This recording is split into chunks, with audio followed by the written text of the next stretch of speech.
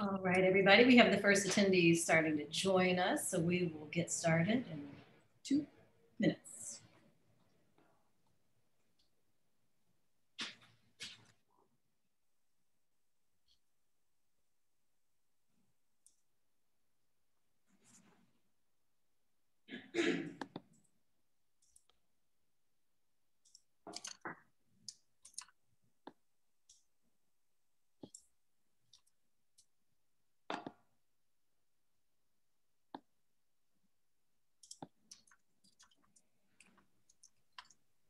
Fantastic. All right, good morning, everybody. So we have a good number of attendees already online, so I'm gonna go ahead and start this webinar. Uh, my name is Cynthia Newman. I'm CEO and owner of Crank Marketing Group, LLC. And this morning, I am super excited to welcome everyone to our second webinar in the Pivot to Excellence Executive Symposia and Summit Series and this is Women Entrepreneurs and Executive Leadership. And I learned from Rosie that it is completely appropriate because today is International Women's Day. So, uh, yay, girls. Um, our goal for this uh, webinar and series is to educate, inform, and connect the military and the business community in a professional and educational forum. And at this particular time, I would like to introduce our two moderators. Uh, first, Ms. Susan Di Vila, uh, who is currently serving as the first region president of the Association of the United States Army. She is also a partner at Ace Electronics, where she serves as vice president of sales and marketing. Correct? Mm -hmm, correct. All right. Ace Electronics is a contract manufacturer of custom assemblies and electronics. And over the last 20 years, she's been heavily involved with defense contracting and has led prime contracts valuing over $50 million. Her recent responsibilities include managing the company in new markets and growth areas for business. Correct? And he will be assisted by Mr. Eric Lien. Eric is currently serving as the president of the Suncoast chapter of the Association of the United States Army and is the past president for the European region. He has over 25 years experience in international business as a senior executive with General Motors and Coca-Cola, and he maintains a global network of professional contacts. Eric has been involved in federal government contracting since 2010 and specializes in the preparation of winning government proposals, supply program administration, management and quality control, HR solutions, OSHA compliance, and educational training in the government contracting process. So at this point, I'm going to turn the floor over to you. Hey, everybody, welcome. I'm the uh, chapter president of the Suncoast chapter of AUSA, as Cindy mentioned. I am uh, representing in our area, we have about 8,000 members. And hopefully a lot of them are viewing in today. And I asked Susan Di Vila to, to co-moderate with us. She's the uh, first region president and she has many thousands of tens of thousands of members in the northeastern states. So we're representing a big chunk of the country right now. Um, I'd like to give a, a shout out to a couple more people who, are, who should be joining us today. Number one, we have the third region president of Association of the U.S. Army. It's Bruce Fletcher. And the third region represents the southeastern states, Panama, and Puerto Rico.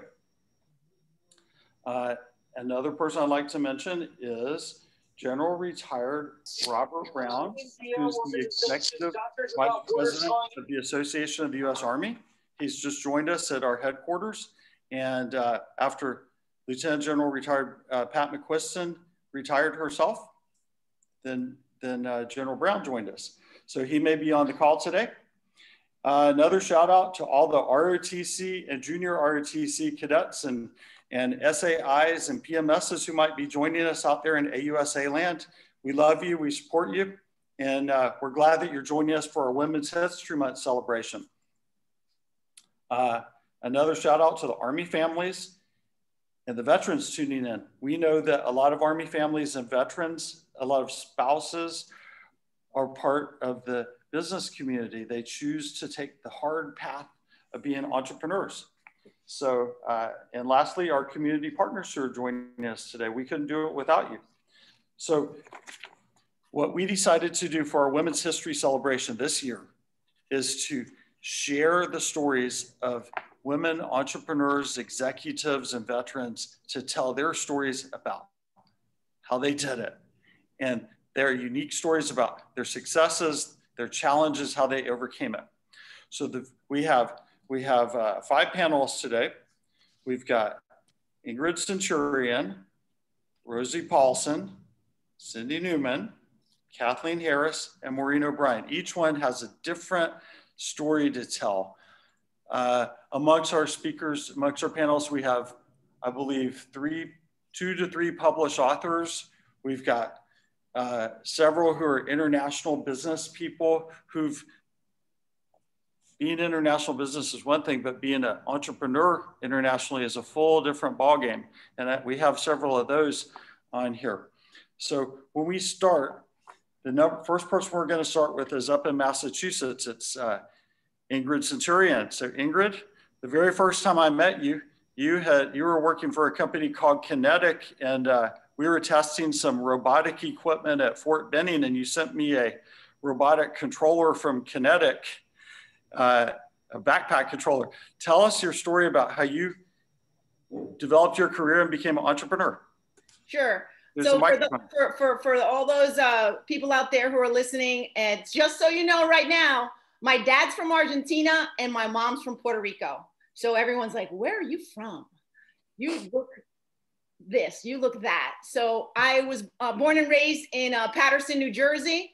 Uh, my dad died when I was two years old, and my mom raised us, a Latina Puerto Rican woman who worked three, four jobs very hard. And uh, she did a great job. I uh, ended up going to college, got an Army ROTC scholarship, and that's how I got into the military. But just so you know, before that, I started flying airplanes when I was 16 years old. I saved $3,000 and my mom drove me to the airport. I didn't even have a driver's license. So for all those women out there uh, that want to be entrepreneurs, you're going to have to work hard. So make sure you are a hard worker and, and you never give up because not everyone can be an entrepreneur. Others just don't have it. And there's a lot of qualities and traits to be an entrepreneur. And one of those is you have to take the risk. It's real easy to go get a job and you have security but being an entrepreneur is a different kind of person. And so, as a pilot, as you know, I like to travel and I like to take risk. By the time I was 21, I had my commercial pilot license. I was ready to go work for the airlines, but I had to go into the military and I ended up doing 22 years on active duty. I flew Hueys. I was a test pilot. I was an instructor pilot. I flew Blackhawks. And then I transitioned into fixed wing aircraft. I got my top secret clearance, and my job in Iraq was searching for terrorist groups within a, a military intelligence battalion, the 15th MI. We provided all the human intelligence, aerial intelligence, and imagery intelligence for the special operations guys on the ground. So after that 22 years, I retired and I moved to Massachusetts to work for the robot company that Eric was talking about, and that's QinetiQ North America. That was my first job out of the military. And remember, being an aviator, I was always the only female. So, for those women out there that are getting into entrepreneurship, whether you're in the finance field, whether you're in the transportation field, whatever field, most of the time it's heavily male dominated. And the robotic world, is heavily male dominated. And so we can talk all about those kind of things because I have a book coming out which will inspire you. My book is called uh, Centurion's Commitment, and I share my life experiences and how I use that to uh, accomplish anything in life. And my book will be coming out in two weeks. So I wanted to share that, get that out there with you all. And then after I got laid off um, with QinetiQ North America because of Obama and sequestration, I decided, what am I going to do? I'm going to start my own business. Everyone up here in Massachusetts is an entrepreneur, so there's great resources locally. And I started helping small businesses because I like to help people. I like to educate people. I want people to live their life to the fullest and accomplish more than they ever thought they could. I, I truly am a motivator um, of, of individuals. And so I, I think another big thing that you all need to learn is you have to network. you have to have the social skills to be able to walk into any room and work that room and get to know people and what you know what motivates them and, and where they're going in life. Because if you can help others then maybe you'll get you'll get some of that back. So i um, also am a business instructor for an organization called veteran the veteran entrepreneurial training and resource network. Please write that down v e t r n dot org. Because we teach veterans and their family members how to scale their business. And this is a free program. You can apply. Go to our website, www.veteran.org. It's a 13 week program. We're now taking students all around the country, and we've been helping entrepreneurs go from generating, you know, $300,000 in revenue to a million. We've taken companies from 1 million to 5 million. And please apply. Uh, let Lee Goldberg know that I recommended you if you're listening. I'm also instruct an instructor in that program because like I said at the beginning, every small business owner works so hard and sometimes you're so engulfed in your business, you can't see what's going wrong from the outside. So this program allows you to actually look at that, really get deep into how to grow your business and as you grow, you need a plan and a strategy, and you have to execute that strategy. And I, I know I only have two minutes, but I think those are the most important things I want to share for right now. And once again, I also want to share that my book is finally uh, coming out, and it's uh, Centurion's Commitment. And please go ahead and order my book, and that will also help you with your personal goals and your business goals in life. Thank you, Ingrid. That is outstanding. I love it. I didn't even know that you had been a commercial pilot before before joining the Army. That is really fantastic. Um, our next panelist is a longtime friend of mine from decades past, and we've known each other for years. We grew up together, and she's a big, big executive at, at Bank of America. So I'm going to turn over the microphone to Maureen O'Brien, and she's going to tell us about her story. Maureen? So thank you, Eric. I appreciate that. And um, I want to share, Ingrid, when you said that you were a commercial pilot, I laughed a little bit, not because I'm a pilot, but I am a skydiver. So every plane you have mentioned, I really want to jump out of. So, with that being said, you know, I think when, as Eric indicated, I think I'm the only person here who is not an entrepreneur. Um, as he indicated, I work for Bank of America. I'm a senior vice president for those guys right now. I currently run one of their customer service call centers, which is fun, right? But you know, how did I get there? Um, obviously, I didn't start in banking. I actually apparently am severely dyslexic and I have a hard time adding. So the whole numbers thing has been a big shock and surprise for me, but it's been fun. But I, you know, I think one of the things you guys will you will find that it's going to be a very similar aspect of all of us as we talk today is our ability to take risks. You know, our, our willingness and desire, in fact, to take those risks. As I have made decisions along my career path, I, I asked myself a couple of questions. I asked myself one question actually. If I do this, what could possibly go wrong? Right? Well, I could go move to California and work for a company that goes bankrupt and bounces all their paychecks, and I got to surf on somebody's couch for a while. So I could be homeless. It stunk, but it didn't kill me, right?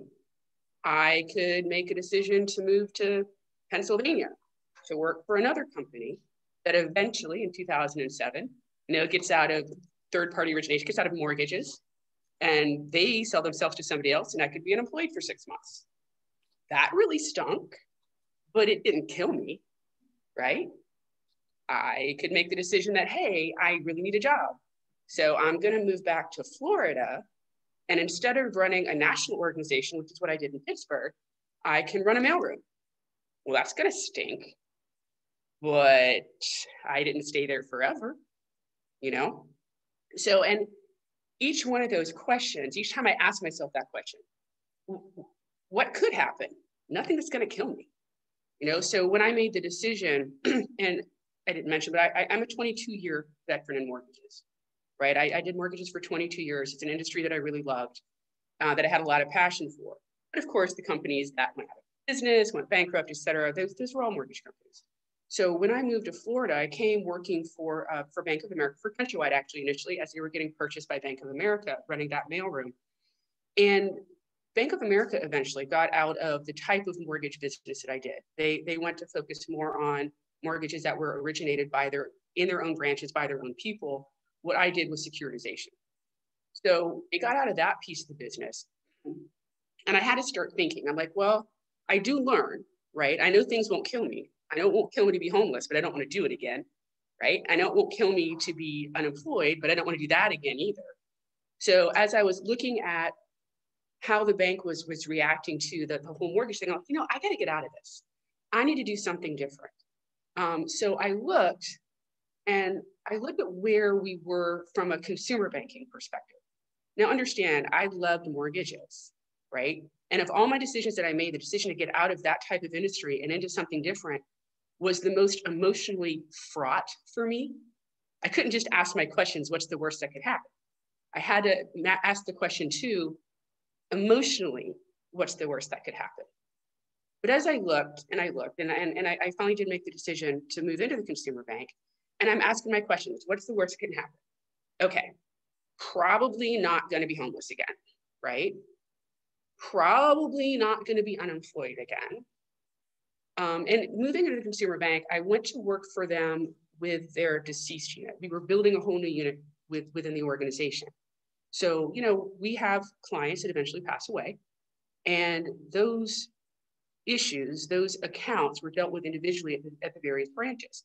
Well, although in any given day, a large number of people might pass away in the United States, in any given branch, they might have one person come in to notify us of a deceased individual maybe once every six months. It didn't build the kind of expertise they needed. So they were looking for somebody to build that out. Now, I will share with you that I, although I had bank accounts, I had a savings account and a checking account, I didn't understand how that stuff worked.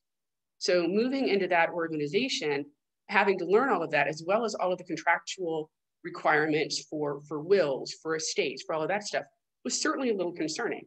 But again, as I asked my questions, gonna keep a job because people are gonna keep dying right? Not going, you know, the only really bad risk there was I might discover that I am not as smart as I think I am. I think I could live with that. So I went and I took that position and it was fabulous. You know, I, I earned my senior vice president with the bank as I helped build out that organization. You know, I, I built the people and the processes. I was able to create a level of expertise within the whole organization that they hadn't had before. And I, I, had the opportunity to, you know, I had my office in Tampa, I had an office in California, did a lot of traveling. It was fantastic. And then, you know, you get to that point where you've built it and it's done. And now it's time for somebody else to have a chance to do something with it, right? So I'd kind of gotten there and I'm, I'm thinking, what am I going to do next? Where are we going to go from here, right?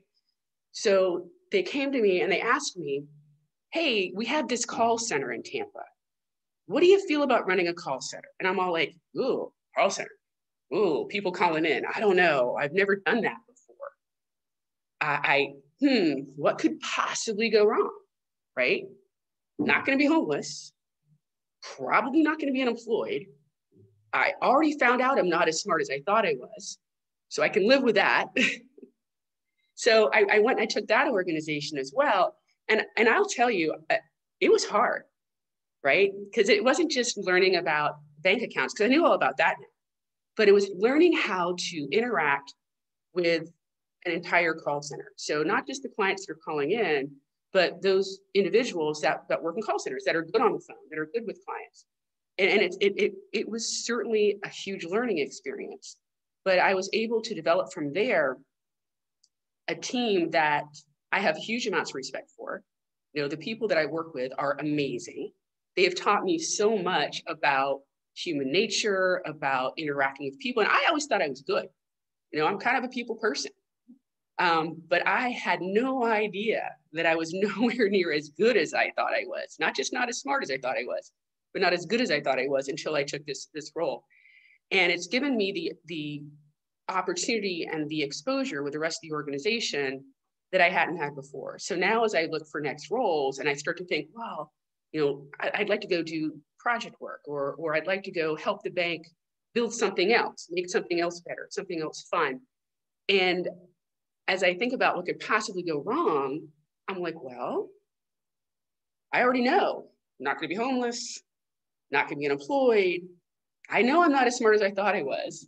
And I know I'm not as good as I thought I was, but I'm better than I was when I started.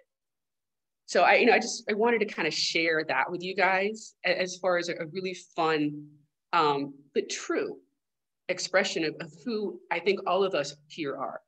You know, again, just because I'm not a, a, an entrepreneur, we still have that same or similar drive to to learn more, to take those risks, to take those chances, to, to make ourselves better and to make our organizations, whether it's the one that we own ourselves or one that we participate in, the best that it can be. And I, I think I was very short, perhaps, but I'll turn it back to you, Eric. Got to unmute myself. Maureen says she's not as smart as she thought she was. I, I was on a debate team with her years ago, and I can tell you that she's she's very smart. So okay. Eric, Eric next panelist who's going to speak is Hi. Rosie Paulsen. And when we did our introduction, I neglected to say that we're broadcasting today from her office, Rosie Paulsen Enterprises in Town and Country, which is part of Tampa. And I'm going to turn over the microphone to Rosie right now, and she's going to tell us about what she's doing. Rosie? All right. Let's see. Can you hear me? All righty. Awesome. So welcome, bienvenidos to Rosie Paulsen Enterprises Business Center. I am so thrilled and excited to have all of you guys here today. Um, I'm originally from Ecuador and I came to this amazing country in 1988 at 10 years old. Uh, when in my country, girls couldn't play soccer, I had to battle my way into the field because I was really a good goalkeeper. But see, girls didn't play soccer, and goalkeeping was a very coveted uh, position. But because I came from a basketball background, I was good at it. So one day, I was about 10, like I mentioned, and I went to the field ready for battle and to work my way into work in the team.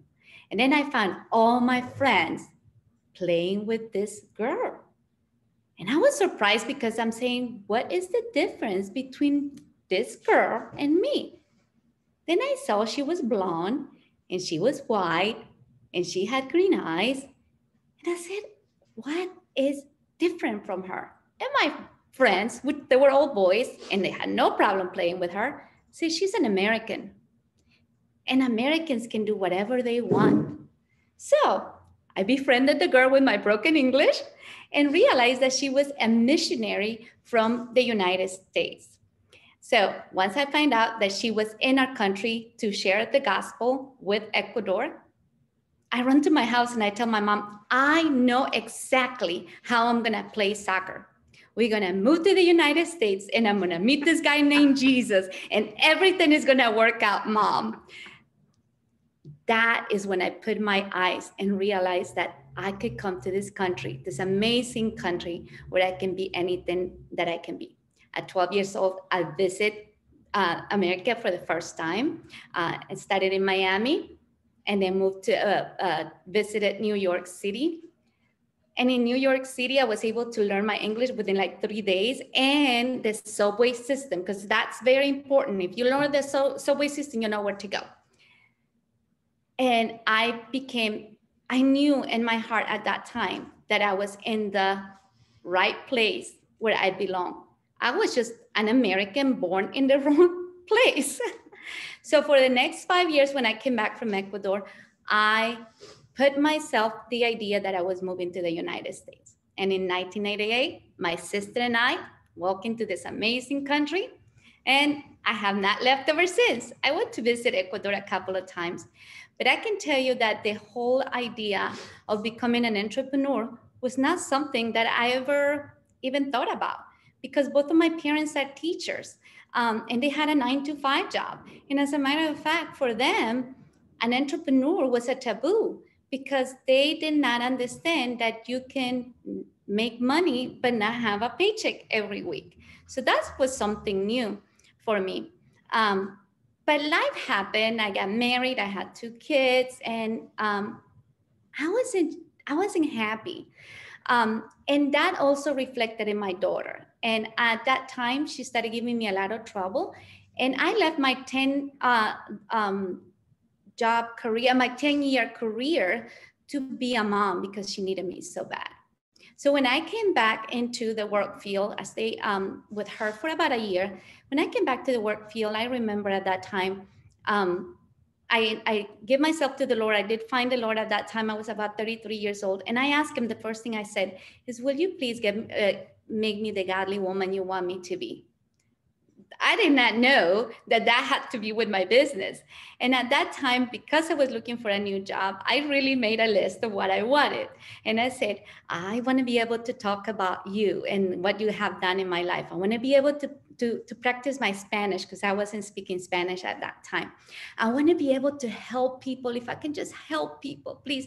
And whatever you do, God, please don't make me a salesperson well, three out of three out of the four things I requested were granted because I went to work with this company called uh, Humana Healthcare with um, the Medicare Advantage field or the Medicare world, and uh, I had never owned a policy in my life. I had never sold anything in my life, but I realized that I was a natural at helping people. And then when you go in there to just help out money comes but that's not the reason why you do things if your pure motives is to really help and make an impact on your community and make a change things will come the way um, easier and, and i started helping ever since then and my business just grew and grew and grew and now i decided that perhaps working for a corporation uh, was not the best option for my clients because at the end, my loyalty was always to the client. So I decided to go out on my own and start an entrepreneur business in 2009. Then I built that one company, um, uh, learn a lot, build a second company, which I call it like the, the daughter company. And that diversified, had more agents. So we got to about 10 agents. And two of those agents decided to buy that second company with at that time I had a partner with. And that company today is employing five pay, uh, five full-time employees and 10 independent agents. So that one company. And then people kept asking me again, Rosie, you are so successful. Can you teach me how to be successful in this country with my business? So then in 2020, I wrote my book, Ñeque, The Spirit of a Resilient Mindset. And Ñeque is a Quechua word that means grit and resilient. And that is really what an entrepreneur is all about. Because, you know, we win battles daily the moment that you get up and do it again. And sometimes you might not see where that next paycheck comes from, right? But you get up and do it again because there's no other option. And that's your ñeque and your grit. Everyone has it. You just do not know it's there until you work in it. It's like when you walk and you haven't walked in a while, and then the following day you have that muscle that you never know it was there. That's your ñeque. So I now teach people how to, uh, how to find their grit, how to be persistent, and how to thrive, uh, how to achieve a thriving, successful, and profitable business. So I am excited. Today is International Women Day, and I'm wearing my Wonder Woman outfit because I want you to remember you are a hero and we need you. Don't give up. Entrepreneurs rock. Thank you, Eric.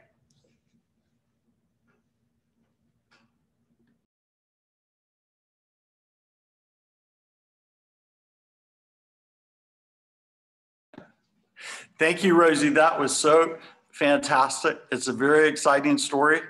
And uh, we've we've known each other for I think three years now or so. And and Rosie is just a ball of fire. She is all over the Tampa, Tampa and Florida business community. And what she didn't mention, I don't think, is she is a point, she's a commissioner for the Florida, Florida Commission on the Status of Women.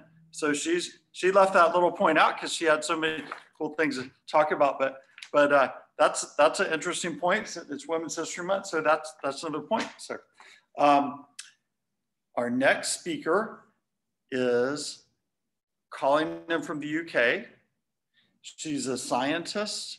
She's been a corporate executive, and for the past seven or eight years, she's been an entrepreneur. So Kathleen, I'm gonna hand you the microphone. Are you are you ready to go? Yep, let's go. Kathleen? Yes. Hello? Hello. Can you hear me? I think you need to unmute. We can hear. We can hear her. Okay. Okay, great. Well, thanks, Eric. Um, I'm just going to say I think Maureen got a little bit of a better introduction than I did.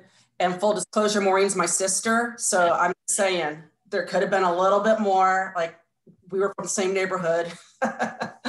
so, uh, well, so my name is Kathleen Harris, and I do live in the UK. I moved to the United Kingdom 18 years ago. I moved here with my husband um, because we were a lot younger than we are now. And why not? What did we have to lose? What did we, um, he, we certainly had jobs to go into or else they wouldn't have let us stay in the country, but it was a three year uh, gig. We were just having a three year work visa and just to try to experiment and try to see what happens in the world when you live in it. It's very different to live somewhere than it is to take a vacation somewhere. Uh, and I think, you know, that sort of highlights one of the really recurring themes that you're going to hear, I think, from every speaker is that you have to have a risk taker. There's nothing wrong if you're not a risk taker, but then probably being an entrepreneur isn't actually quite for you. So, you know, it's this idea of like what Maureen said, what do you have to lose? How bad is it going to be? And I mean, there could be times we say, I don't want to take that risk right now, but how bad is it going to be? And that is one of the, the, the tenets that I've always had when I started my business. Um, I've always wanted to be an entrepreneur. I always wanted to be able to run my own business. But I think one of the things that's really important uh, for entrepreneurs, and there's all different types of, of um, segments in the marketplace. My segment is uh, regulatory consulting. We do global strategic regulatory uh, partnerships with the pharmaceutical uh, and life science industry, which is medical devices, in vitro diagnostics, and biologics. We do a lot of mergers and acquisitions. We do a lot of work with remedial action. And this is a field that I have been in for 30 years. So it's the time is starting to get up there. Um, and I did start my business seven years ago. And certainly over the course of when I first moved to the UK 18 years ago, I wanted to start my own business. I said, okay, I can do this. But then I had to really look around and say, well, actually, this is a completely different cultural market. Maybe I should understand it a little bit more. Maybe I should learn some things. I think one of the things that uh, with an entrepreneur, you have got to have so much ability to take risk and believe in yourself. But I think you also have to be humble and you also have to say, is there opportunities for me to learn something else? Am I I not so much am I ready out of fear because you have to be willing to take risks, but you have to have this dome of truth. I always call it the dome of truth for yourself. Why are you doing it at this moment? Is it because nothing else is available to you and so you're just going to take it? That's not the right reason to want to be an entrepreneur. You want to be an entrepreneur because you have something to offer that nobody else has to offer. And you know that you can offer it. You know that you have the ability, the skill, the mindset, the courage to offer it. Just the lack of any other option isn't the same thing. And I'm not saying that you can't start your own business with that kind of, um, I have nothing else to do kind of mindset, but I mean like having a sustainable, growing entrepreneurial relationship with your business and then with your clients is you really have to have that dome of truth and that humility to say, do I, am I ready to offer this to people? What am I offering this to people? Um, for me, I was offering them and my company uh, regulatory consulting and strategy. So these are companies uh, that are very large multinational corporations that are coming to us and saying, okay, we want to acquire this asset. So you need, would you please go and take a look at it and tell us if it is worth $11 billion?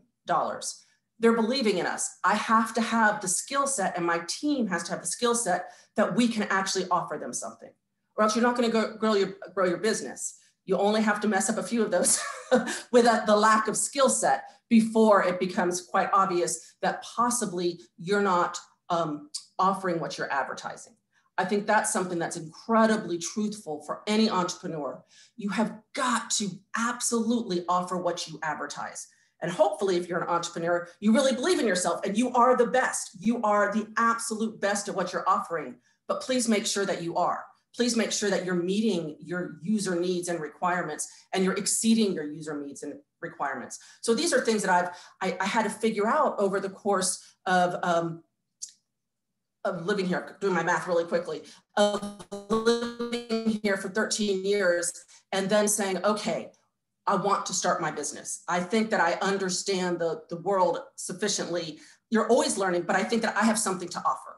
Certainly, one my last organization that I worked for before I started this business, this is the type of work I did. And I saw that there was a whole gap in the marketplace. Certainly, multinationals hire uh, due diligence teams and you hire consultants, and then you hire people that are going to help you with uh, your strategy in terms of if I'm going to spend 20 million developing a, a pharmaceutical, I have to have a regulatory strategy to figure out how am I going to get my money back and how am I going to place it into the marketplace.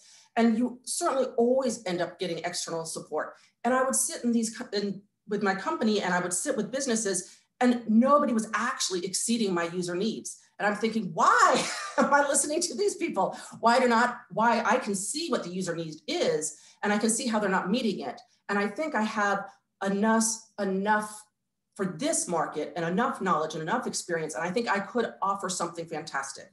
And it took me about a year to create the courage, I'll be very honest, I've always been a risk taker, but it took me about a year to create the courage because I was senior vice president of a huge multinational uh, company.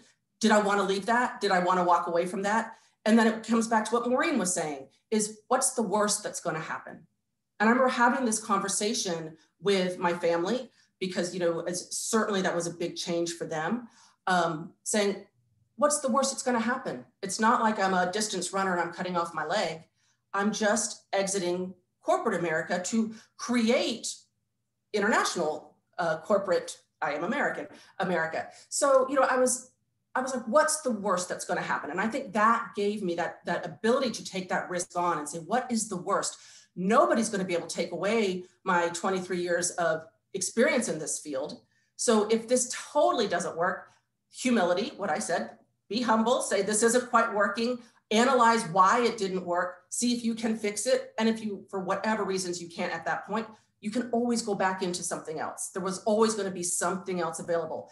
And I think as long as you have that, and it might not be to the same level. I mean, it took me years to get to a senior vice president level in this field, but I would have something. So I think that ability to have the, the lack of fear to be able to assess risk and then to certainly know what you're offering. And I think that's why it took me about a year to write my business plan. That is so important. You don't just go off the cuff. You really have to write things down. And well, for me, I have to write it down, think it through. I came up with my business plan.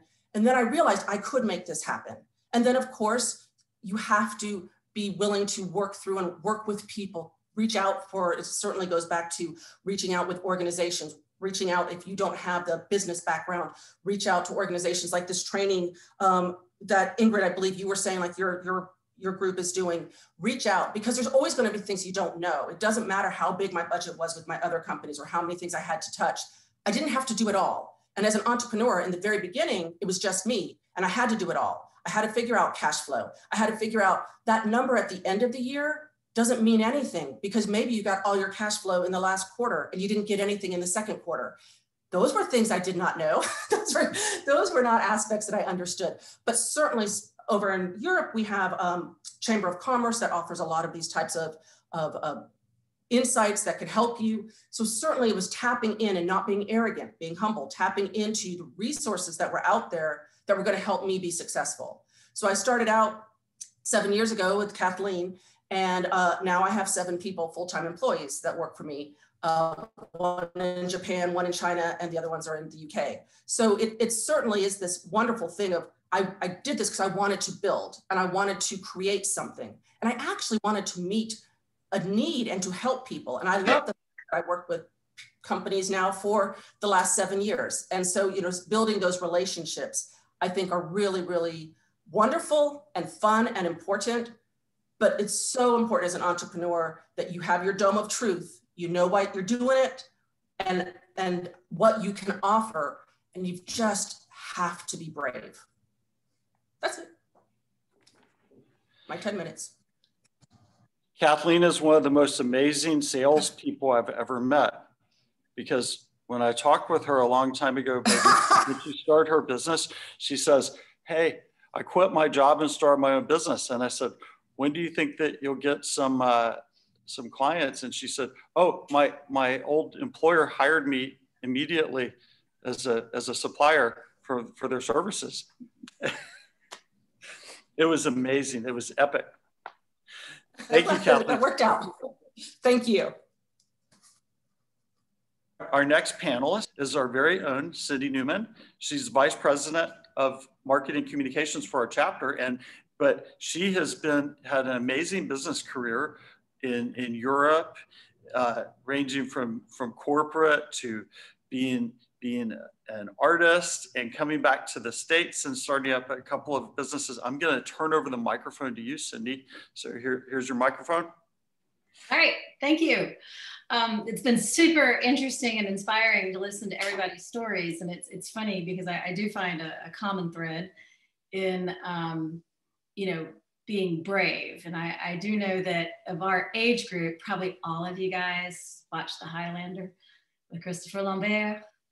And if you can remember that scene where he always, you know, oh, there can only be one. Um, I always felt like that scene was fraught with you know, you know that you want to proceed to the next level, but you also know it's going to hurt to get there.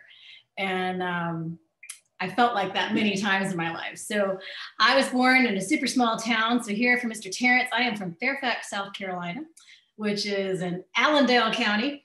And that is a one stoplight rural town where there's like literally nothing to do.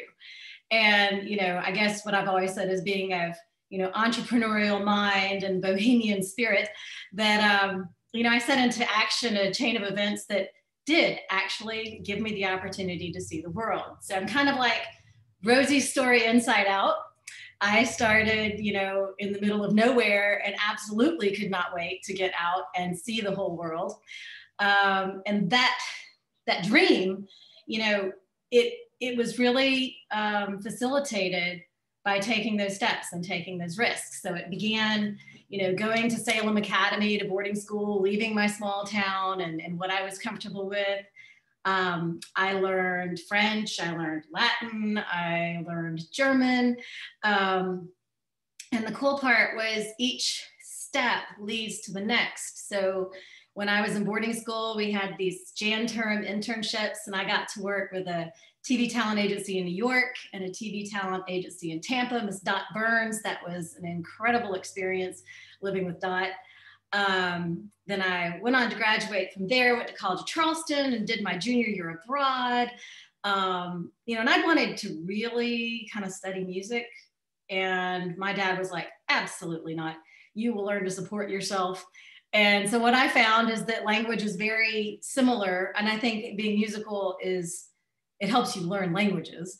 So I figured out what am I going to do with this language stuff. So that's when I started, when I added the business aspect to it. And that goes back to grad school with Eric. Eric and I've known each other, I think, about 30 years, which is terrifying, but true. and so we, um, I, we were both in the German track at USC at Darla Moore's uh, International School of Business. And that opened really cool doors, which included leaving home and sitting there uh, in the airplane and your parents really don't want you to leave and taking off and heading for Europe.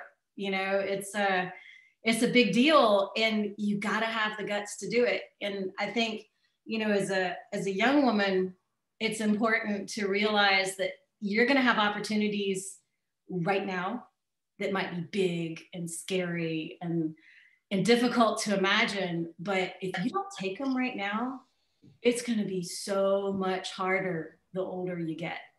And that's not bad it's just different. You know when you it's it, when you're single and you can follow your dreams and there's there's no kids you got to watch after or husband job you have to take into consideration it's easier to make take those risks and jumps. Doesn't mean you can't do it later. It's just be brave when you're young because it will behoove you you know later in life. Um, so I guess the, the cool part of my internship is I was the I was the student who got the, the coolest internship at MIBS. I got to work at Porsche. So um, we had the, you know, luxury brand and we were in Ludwigsburg. So that's a little bit north of Stuttgart, Germany. And uh, at that time, they were launching the Porsche 968, which was kind of a cool beefed up version of the 944. And then the, the egg, I, I wasn't real into it. It was kind of an older car for older people, but it was the Porsche 928 S4.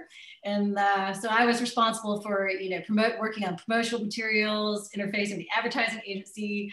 And it was funny because Porsche's still a German company. And so when you brought that American spirit in there, they're like, where do you get all this energy? And I'm like, I love what I do.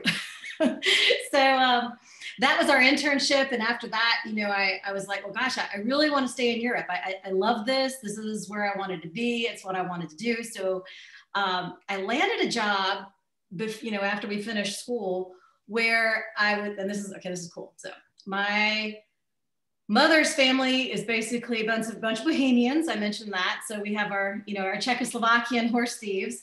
And I had always wanted to go to Eastern Europe. So when I started applying for jobs, I really landed my dream job working for um, a in Germany for Rhône Poulenc which was basically um, a French-owned pharmaceutical company, and my job was helping set up operations in Eastern Europe and that gave me the opportunity to travel to all of those Eastern European countries. Um, we got we set up subsidiaries in Warsaw and Prague and Budapest, and I spent my 25th birthday in Moscow, and I thought that was the bomb. In uh, Bratislava, Budapest, and so by the time I was done, I had worked myself out of a job. And that was because we finished setting up the subsidiaries. Now, I did not set the timer, I meant to, so let me know. Um, I guess at this point, I would say, as cool as all this sounds, as a woman, you are always at some point in your career going to be hit with someone who tells you you cannot do what you want to do just because you're a woman. And, uh, or even better, that you're going to get your opportunity if you earn it in a less professional manner. And I'll tell you that hashtag me too hasn't changed a thing about human nature, but it's not a matter of if you'll be challenged, it's how you meet that challenge that will make all the difference. That you look back on yourself and you're like, you know what, I didn't cave, I didn't compromise, I stayed true to myself. And the next opportunity will come. You don't have to give into that. So believe in yourselves. Um, and I guess that came before my unsuccessful bid to uh, move into the Eastern European management team in Paris. And I was certain I was going for that job. I spoke French, I was successful, but that just wasn't meant to work out. And I did a stint in the, uh, I guess, over the counter uh, industry for domestic Germany and was bored to tears. And so it was time for that next challenge. Um, so that leads to a very big jump in careers. And I met my future husband, who was already a very famous and successful songwriter and guitar player in Germany. And one thing I had learned is how to recognize people who can be successful, people who know how to work. I swear to God, I've never met somebody who works so much as my husband.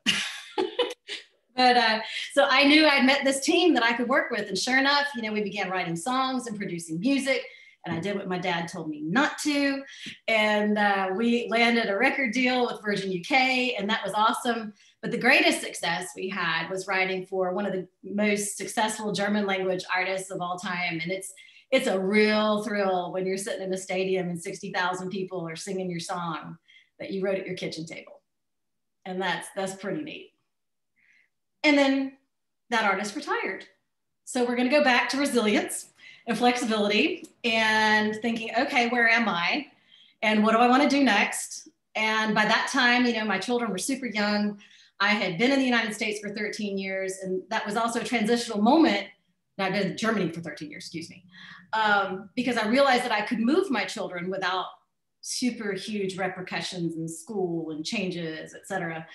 So we came back to the United States in 2006, and being the entrepreneurial spirits we are, you know, kind of reinvented. And we uh, built on my husband's career, basically continuing to serve the existing music clients, but building out international photography and filmmaking business.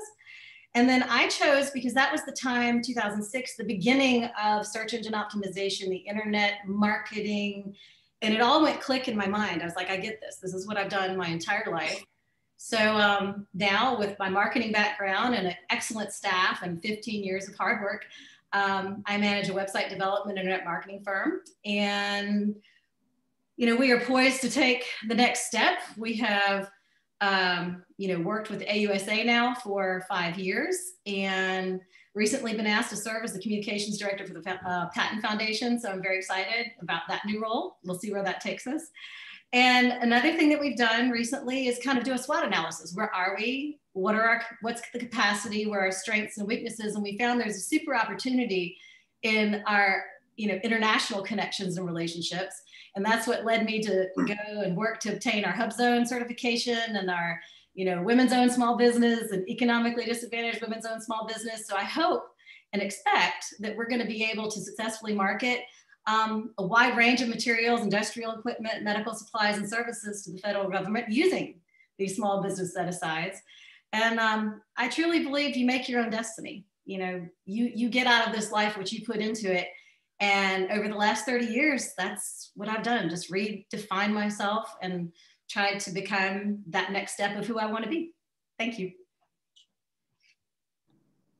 That's it.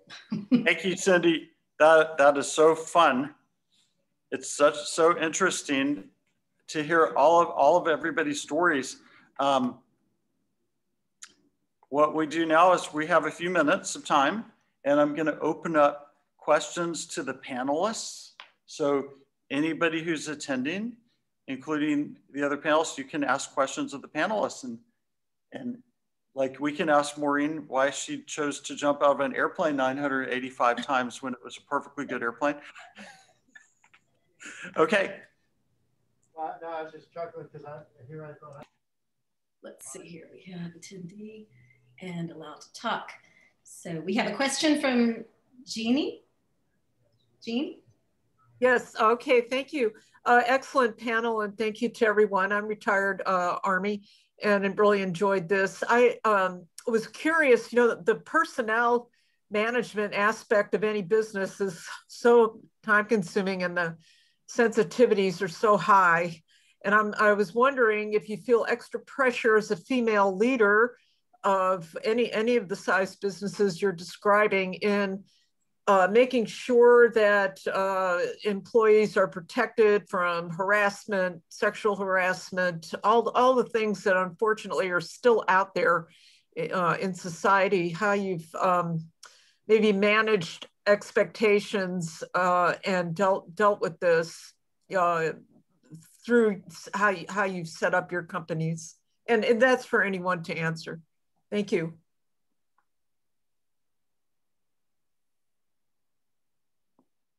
Takers. I'll I'll take a quick one at that, if that's okay. Mm-hmm. Can you hear me? Yes. Okay, great. So one of the things, so I live in uh, England and I have employees though that are on a completely different continents. So I have a, a gentleman that's in uh, Japan and I have a, a, gentleman that's in China and then the rest of my, my staff is in the UK with very, very different cultural expectations, very different um, employment laws. And one of the things that I really, because there are no men in my field, I've never had to wait in line in a bathroom. like there's never, you know, any corporate meeting. I'm like, okay, see you guys in just a two seconds. There's never a line, there's nothing. So, and so I have dealt with this and you do learn how to deal directly, negotiate in terms of leave me alone. And, you know, there's all these things. And I've, I always swore when I started my own business but that was never going to be the, I did not want that to be the case. And I had to develop a culture that got rid of that. And so one of the things I did as part of my, my plan when I started this is I actually did hire a consultant to help me with my human resource.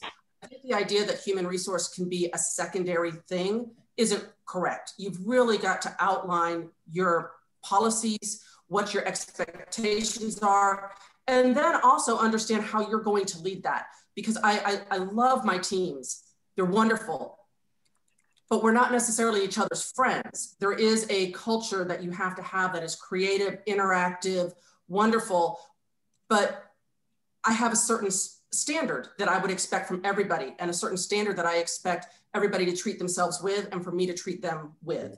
And that really helped me to articulate that by working with HR people, put policies and procedures in place so that I, I onboarded people. That was something that was really because we're such a small business. It's so easy to think, oh, you know, that's just Kathleen or that's just Andy or that's just, you know, a chin. And that, you know, and, and I wanted to make sure that there was this respect of my vision for my corporate culture. And I think that probably, and, and I hope, my understanding, it seems like it's working.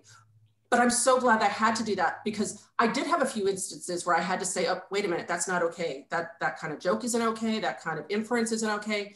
And if I didn't have those policies and procedures in place that I could point to and say, we've gone through this and now we're dealing with this from an HR standpoint, I wouldn't have been able to deal with it. It would have affected my corporate culture because I didn't have one. Thank you. Thank you very much. Hi, um, I, I want I want to add to that as far as you know, HR. There are HR people out there who aren't who are not HR professionals. Uh, they have no uh, skills when it comes to people. Uh, they're sitting in a job, and it, it's not the HR's responsibility to set this culture and standard for your company as an entrepreneur. Uh, I go back to, you know, being in the military and I learned so much from being in the military and it's about your leadership philosophy. And as a female working in a man's career my whole life, even getting out, you as the as the CEO of the company have to set the standard on on and it all comes down to respect. You have to respect people and individuals. And when they're in the workspace and whether it's a male or female and they disrespect uh, and they start joking wh- whether it's about women's body parts or men's body parts that is unacceptable behavior so i would say that there's you know the standards like um, she was saying as well as cussing and swearing I, I come from a background of working with law enforcement. I work with the sheriff's department. I work with the FBI. I work with the firefighters. Those are all different cultures. And they love, they, they're swearing, swearing, swearing, swearing, swearing, swearing. And hey, yeah, women swear too. But if you as a leader, you choose to not use that kind of language, then everyone else needs to understand that and, and, and follow the standards of you as a leader you know they're going to have to change their behavior and i know it's really hard but um, this is something that you know swearing this all leads down a certain path of behavior as well as being in ausa or being in the vfw or being in this nonprofit every age of individuals that we work with they all come from a different generation and they behave a certain way so it's all about you and what you're willing to put up with.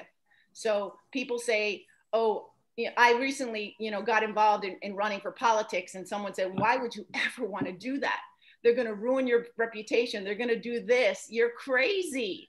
And I said, no, I felt like I needed to do it because I felt like it was my duty with all our freedoms being taken away. And so the only person that can ruin my reputation is me. And so as you run your businesses, you make so, you make sure that you stand strong on this because some of you will waver. And I know a lot of women who are in these fields of the financial industry, the legal industry, and the men are so disrespectful and they're disrespectful who, who, who they know they can get away with it. And so people always ask me, oh, Ingrid, you were in the military. Weren't you harassed? Weren't you this? Weren't you, that? And you know what? I, I, I, I wasn't because it's up to you ladies. It's up to you to, to take it and put up with it.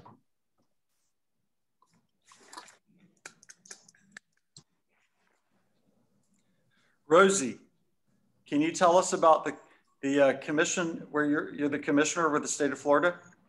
Yes, thank you for that Awesome.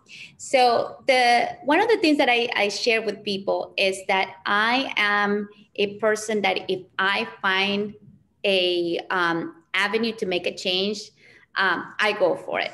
Um, so about uh, five years ago, I will say, um, I, I, started to dive into politics. Remember, coming from another country, politics was kind of like a taboo. But I realized that politics affects your business directly or indirectly. So one of uh, one day I went to a something that they say in Facebook that it was a Women at the Capitol Day, and it was being held by the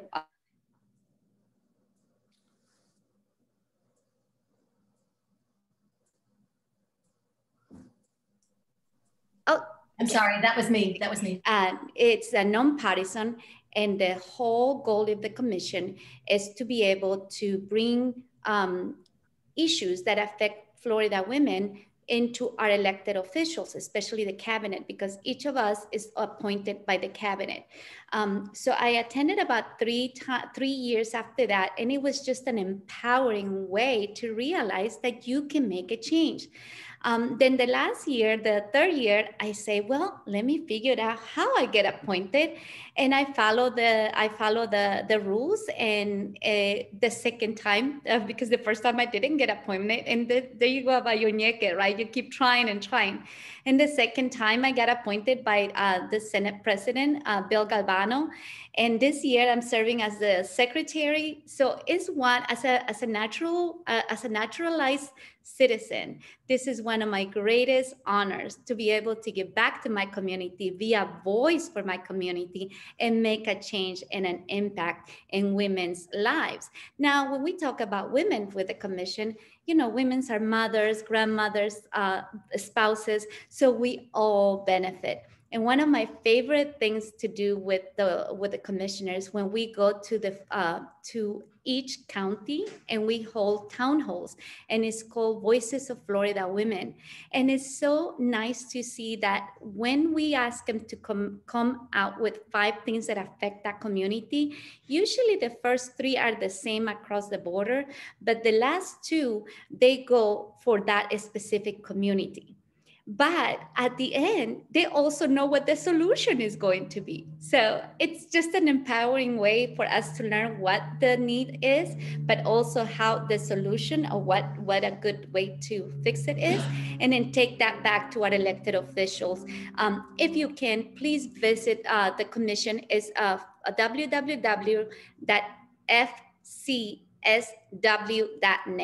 www.f for Florida, C for commission, uh, S uh, for state, fcsw.net for women, www.fcsw.net. Thank you. Uh, Rosie, you can add that to the chat also. So I have a question. Um, can you guys hear me? Good. Uh, for Maureen, I'm trying to find you up there. Um, so during your speech, first off, I just want to uh, say everyone was wonderful. I thoroughly enjoyed listening to all of you, and I took some notes. You know, definitely the common theme, the risk taking. But something else that stuck out to me was that all of you and I definitely think as an entrepreneur, you have to care. You all have caring personalities. You see that you're something to offer, and that was very evident in, in all of you. Um, so Maureen, you had made a, a, comment during your speech that you know you're looking for the next program for the bank.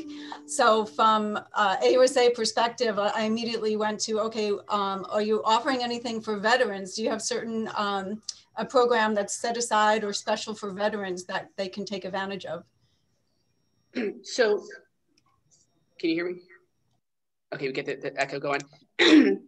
so we have a pretty robust program to hire veterans. Um, we do try to be out in the community looking for that. There, when, when we're when we're hiring at our, at our various levels, um, one of the things we do is, you know, people that work for us and work for us successfully, we're pretty sure that they're going to have friends that are similar personalities that are also going to work for us successfully. So we go out to our existing population, like, hey guys, you know, we're hiring for this here. Do you know anybody? And by the way, if the person that you know happens to be a veteran and we hire them and it's successful, I'm going to give you like $100 in your bonus once they're, you know, once they, they're hired, et cetera. So we, we, we pay out for that um, within our existing population.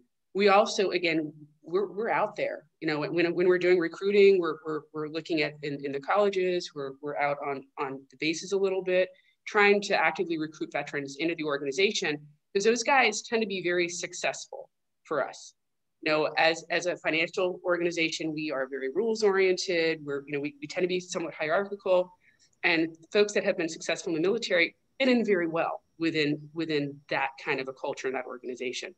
So yeah, we, we do have those programs for hiring um, as far as like financial services, depending on, on various areas, we, we, we do VA loans, you know, we, we work with, with veterans from a, um, a mortgage perspective, as well as from a, uh, an accounting perspective.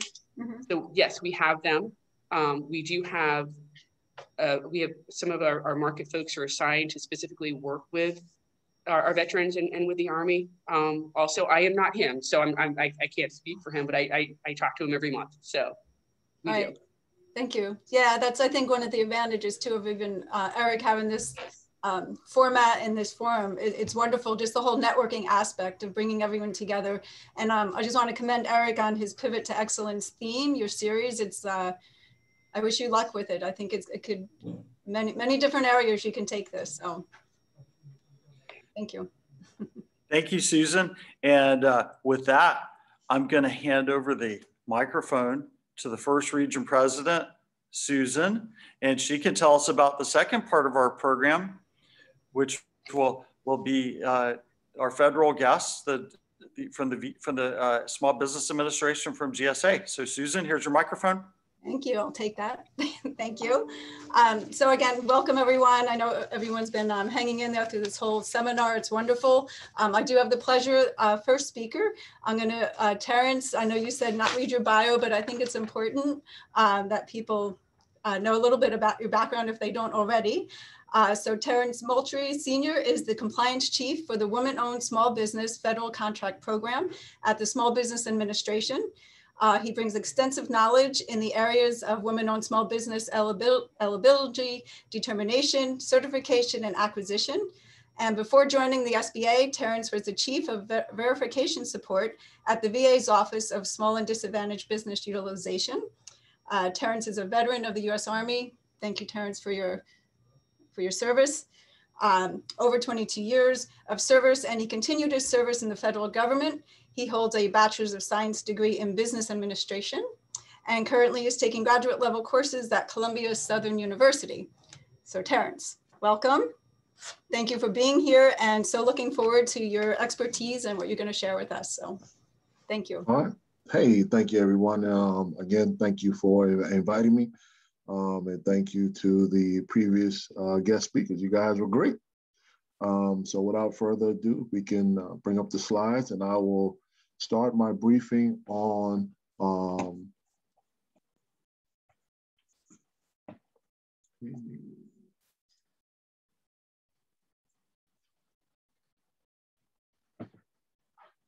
uh, just let me know when you're able to see the slides.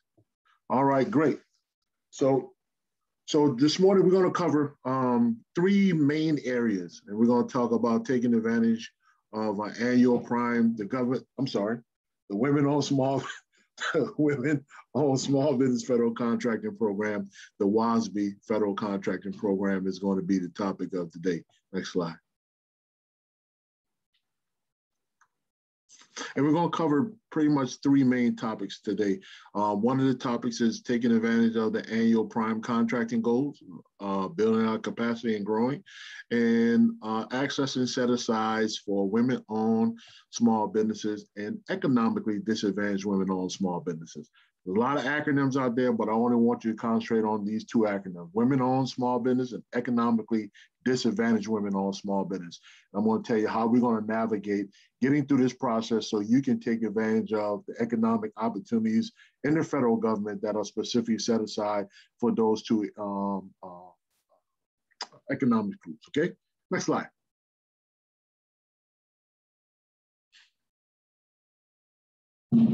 So as you can see, we, we kind of, I kind of gave you the definition of both of the acronyms we're going to use. The WOSBD is the Women-Owned Small Business, and the economically, the ED WOSB is the Economically Disadvantaged Women-Owned Small Businesses. Um, what I want to basically want you guys to focus on as far as the women owned small business, you can see like a pie. There's a, a big pie. Um, those are the women owned small businesses that are certified through our site, as well as the smaller pie is the economically disadvantaged women owned small business, which is a smaller subset of that group.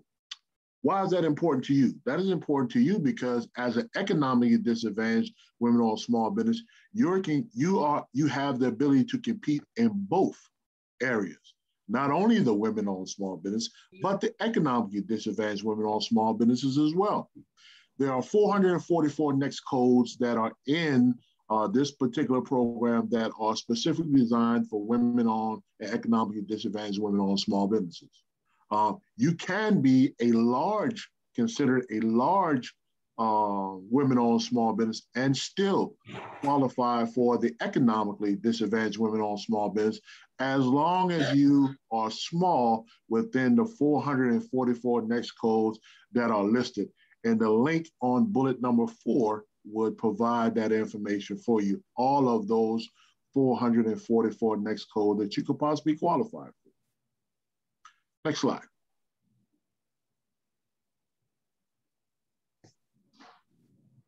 Here's some of the uh, certifications and improvements. The SBA has a new, um, it's, it's a free online certification process for the women on uh, and the economically uh, disadvantaged women on small business. It is a live site. It is up. It's beta.certified.sba.gov.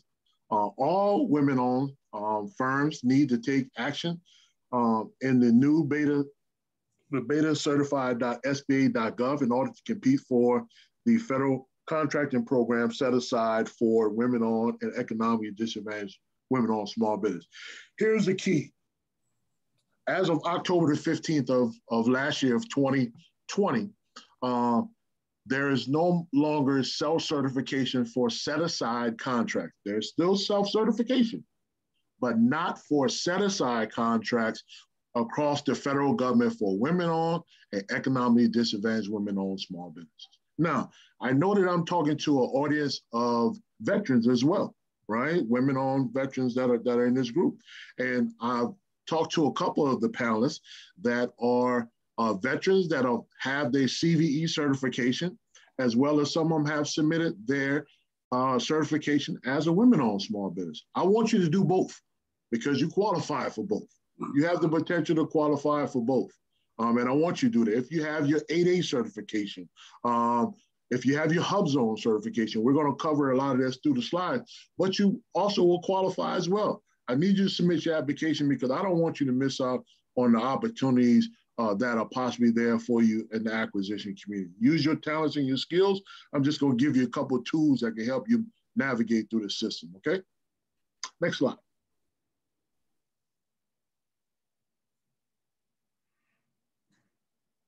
We do have our third party certifications. We actually have four what we call TPCs. The SBA is allow, allowed continue participating for the businesses to utilize approved third party certifiers. Now, these individual third party certifiers, they, they charge a fee um, in order to um, uh, review and approve your application through our TPCs. You're still required to submit your application through our uh, but it's a shorter process. So again, if you are a women-owned small business and you meet the criteria through CVE, right, or your 8A or your HubZone, right, you can submit your application through us with your actual certificate as well. Uh, it is a shorter process, doesn't take as long. Only thing you have to update is pretty much two documents your proof of citizenship and your your certificate, rather your third party certificate or your uh, for CVE or for 8A or for HubZone. Next next uh, slide, please. The SBA allows participation firms certified by the following um, entities, provided that they meet the qualifications.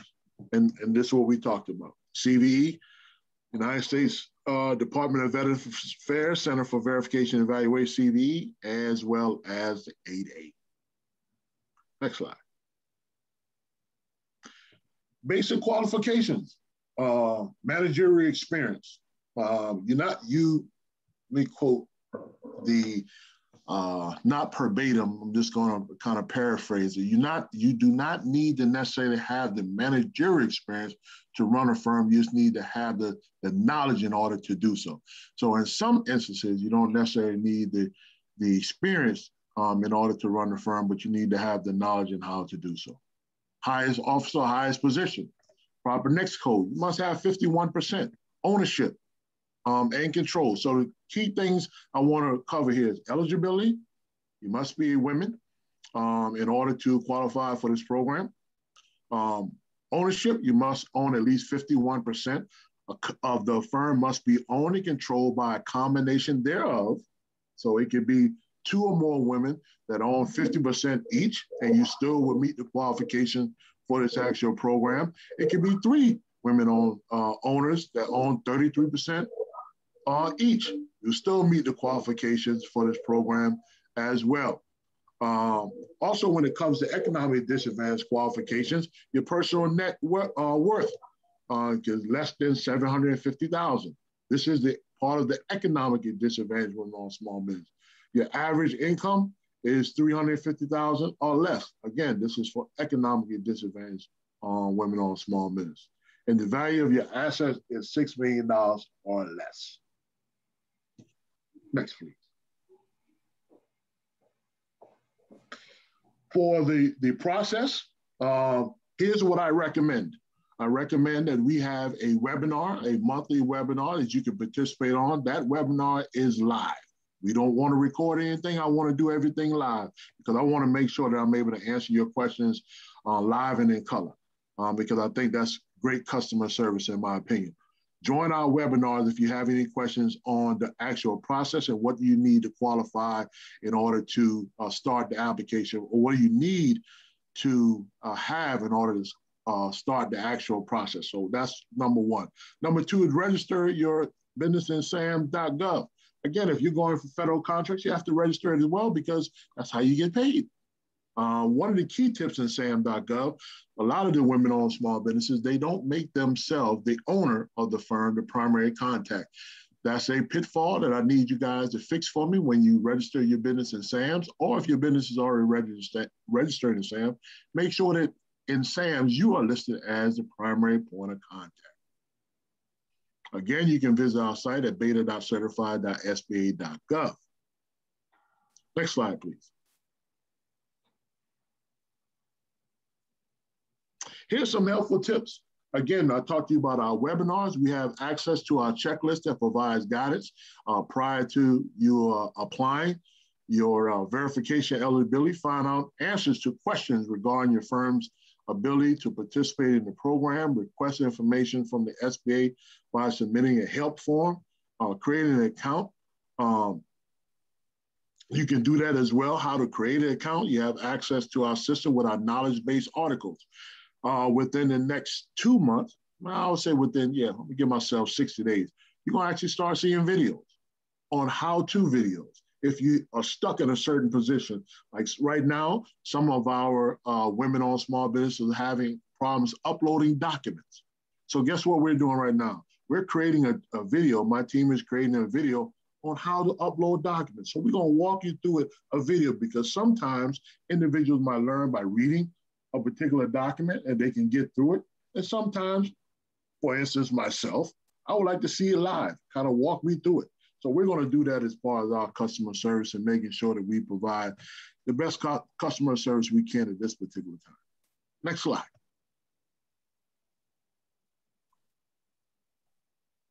Here's some training resources we actually have. Uh, document preparation and checklist. Uh, there's a link to that um, the eligibility uh, questionnaire, um, as well as a check-based, our knowledge-based articles, our user guide, our ongoing training and webinar. I would like for you guys to take advantage of all this prior to submitting your application. One of the things I found out is that when individuals go through uh, our webinars as well as a checklist and, and look at the knowledge-based articles prior to submitting their application, they are less likely to have difficulties going through the process. Doesn't mean they don't have issues going through the process because sometimes they do, but they're less likely to get frustrated through the process because they understand what it takes, what documents is actually needed, and how long this process is going to actually take. Okay, next slide.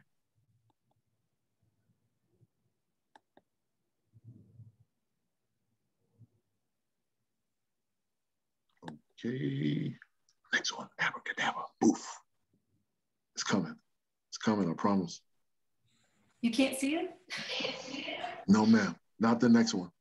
The contact us one? Yes. Oh, okay. I'm sorry. Whoa. See, my mind is playing tricks. I need to put my glasses on. now, again, if you want to contact us one-on-one assistance, we also have our local SBA uh, resource partners that can actually assist you as well. Um, there's a link for that um, that you can actually use for more information on keeping informed with different events that we that the SBAs have in combination not only with the SBA but GSA as well. Uh, any events that we may partner with other uh, government agencies, that's listed on our website. For questions in reference to our federal contracting program, you can email us at the WOSB at sba.gov. For this particular event, for training events, I want you to pay attention. If you are on this particular call, and I believe that we have one second, I think we have 25 participants, right? I'm going to give you the secret sauce for today, ladies and gentlemen. This is the secret sauce for today. The secret sauce today is that if you have a question or you have an issue with the actual process, I want you to email our WOSB training at sba.gov. In the subject line, it's very important. Please write this down. I want you to put attention, Terrence, right? And my team will get that information to me directly. I have no problem giving you a call or emailing you back if you have any questions or, or issues. Or someone on my team will make sure that we answer your particular question. But for this particular webinar, for the 26 individuals on this particular webinar, I'm going to try to give you some special treatment. I call it show me some love. So I'm going to show you some love by if you have an issue, you have a problem, please email me in the subject line. You put attention Terrence. That's going to come directly to my team. My team uh, uh, monitors email box, and I will ensure that we get back with you within 72 hours. Now, I'm saying 72 hours because I would like to give myself a little cushion. Well, if it goes past 48 hours, we have a problem. Okay? So I believe to make sure that we try to take care of you guys as best as we possibly can. Here. For any technical help, yes, ma'am. That was the, the WOSB training at sba.gov email address? Yes, yes, ma'am. Yes, ma'am. That is it the WOSB training at SBA.gov. And you put in the subject line, what are you going to put on the subject line? Attention, Terrence. That's what I'm talking about. See, somebody is paying attention. So you put attention, uh, uh, attention, Terrence. We'll make sure that we provide you a, a, solid answer, and I will make sure that I get back with you as soon as we possibly can. All right. Here's what I want to do. I'm gonna give you another another special nugget. I don't want you to share this with anybody because I want to give it to you. This is the one time and one time offer only. I'm going to give you my cell phone number. It's a government cell phone number, so it doesn't belong to me because you pay taxes, right? Here's my cell phone number. My cell phone number is 202 702 2874. Again, that number is 202 702 2874. That comes directly to me. It doesn't go to a help desk or anybody else. I'm the only one to answer that phone. So again, if you cannot get in contact with somebody or or someone on my team did not respond to you when you emailed the WOSB training at SBA.gov and you put attention Terrence, and my team did not get in contact with you, or I did not, please give me a call because that means there's an issue. Is that fair? See, today is Women, I mean, this month is Women History Month, but today is Women's Appreciation Day by the SBA. That's what I want to count. All right? All right. Next, next slide. That's it. Okay, now here's what I want. I want to recap a couple things. I want to ensure if you're a women-owned small business and you're owner and you own 51% of your firm and you own and control that firm, there is no reason why you should not submit an application through our site. I'm going to tell you that that's criminal because what you're doing is you're minimizing your opportunities um, to grow and expand your firm and expand your business. And I know you don't want to do that. So give yourself the best opportunity possible to grow your business moving forward. That is applying for um, the certification program through the SBA as a women-owned small business or economically disadvantaged uh, women-owned small business. I will tell you, the average processing time regulation requires us to process an application in 90 days. Unfortunately, unfortunately, we are above that 90 days. I will tell you that once you have submitted your application, if you have not heard anything within 120 days, give me a call directly and I will look into what is the issue. I owe you that. But I will ask for you to be patient, provide us the documents that you need, that we ask for. Don't need to argue, don't need to fuss, don't need to say ask why. If there's a document that is required, provide that document. If you do not have that document, and there are some times that you may not have a particular document because you're a newly formed uh, firm, all I need you to do is provide a detailed letter of explanation on why you don't have that particular document. If it makes sense, you're okay. If it doesn't make sense, we're going to ask you a question, a question. So don't take it, don't ever take it personal. Um, we're not verifying the firm, we're verifying that you meet the qualifications for this particular program.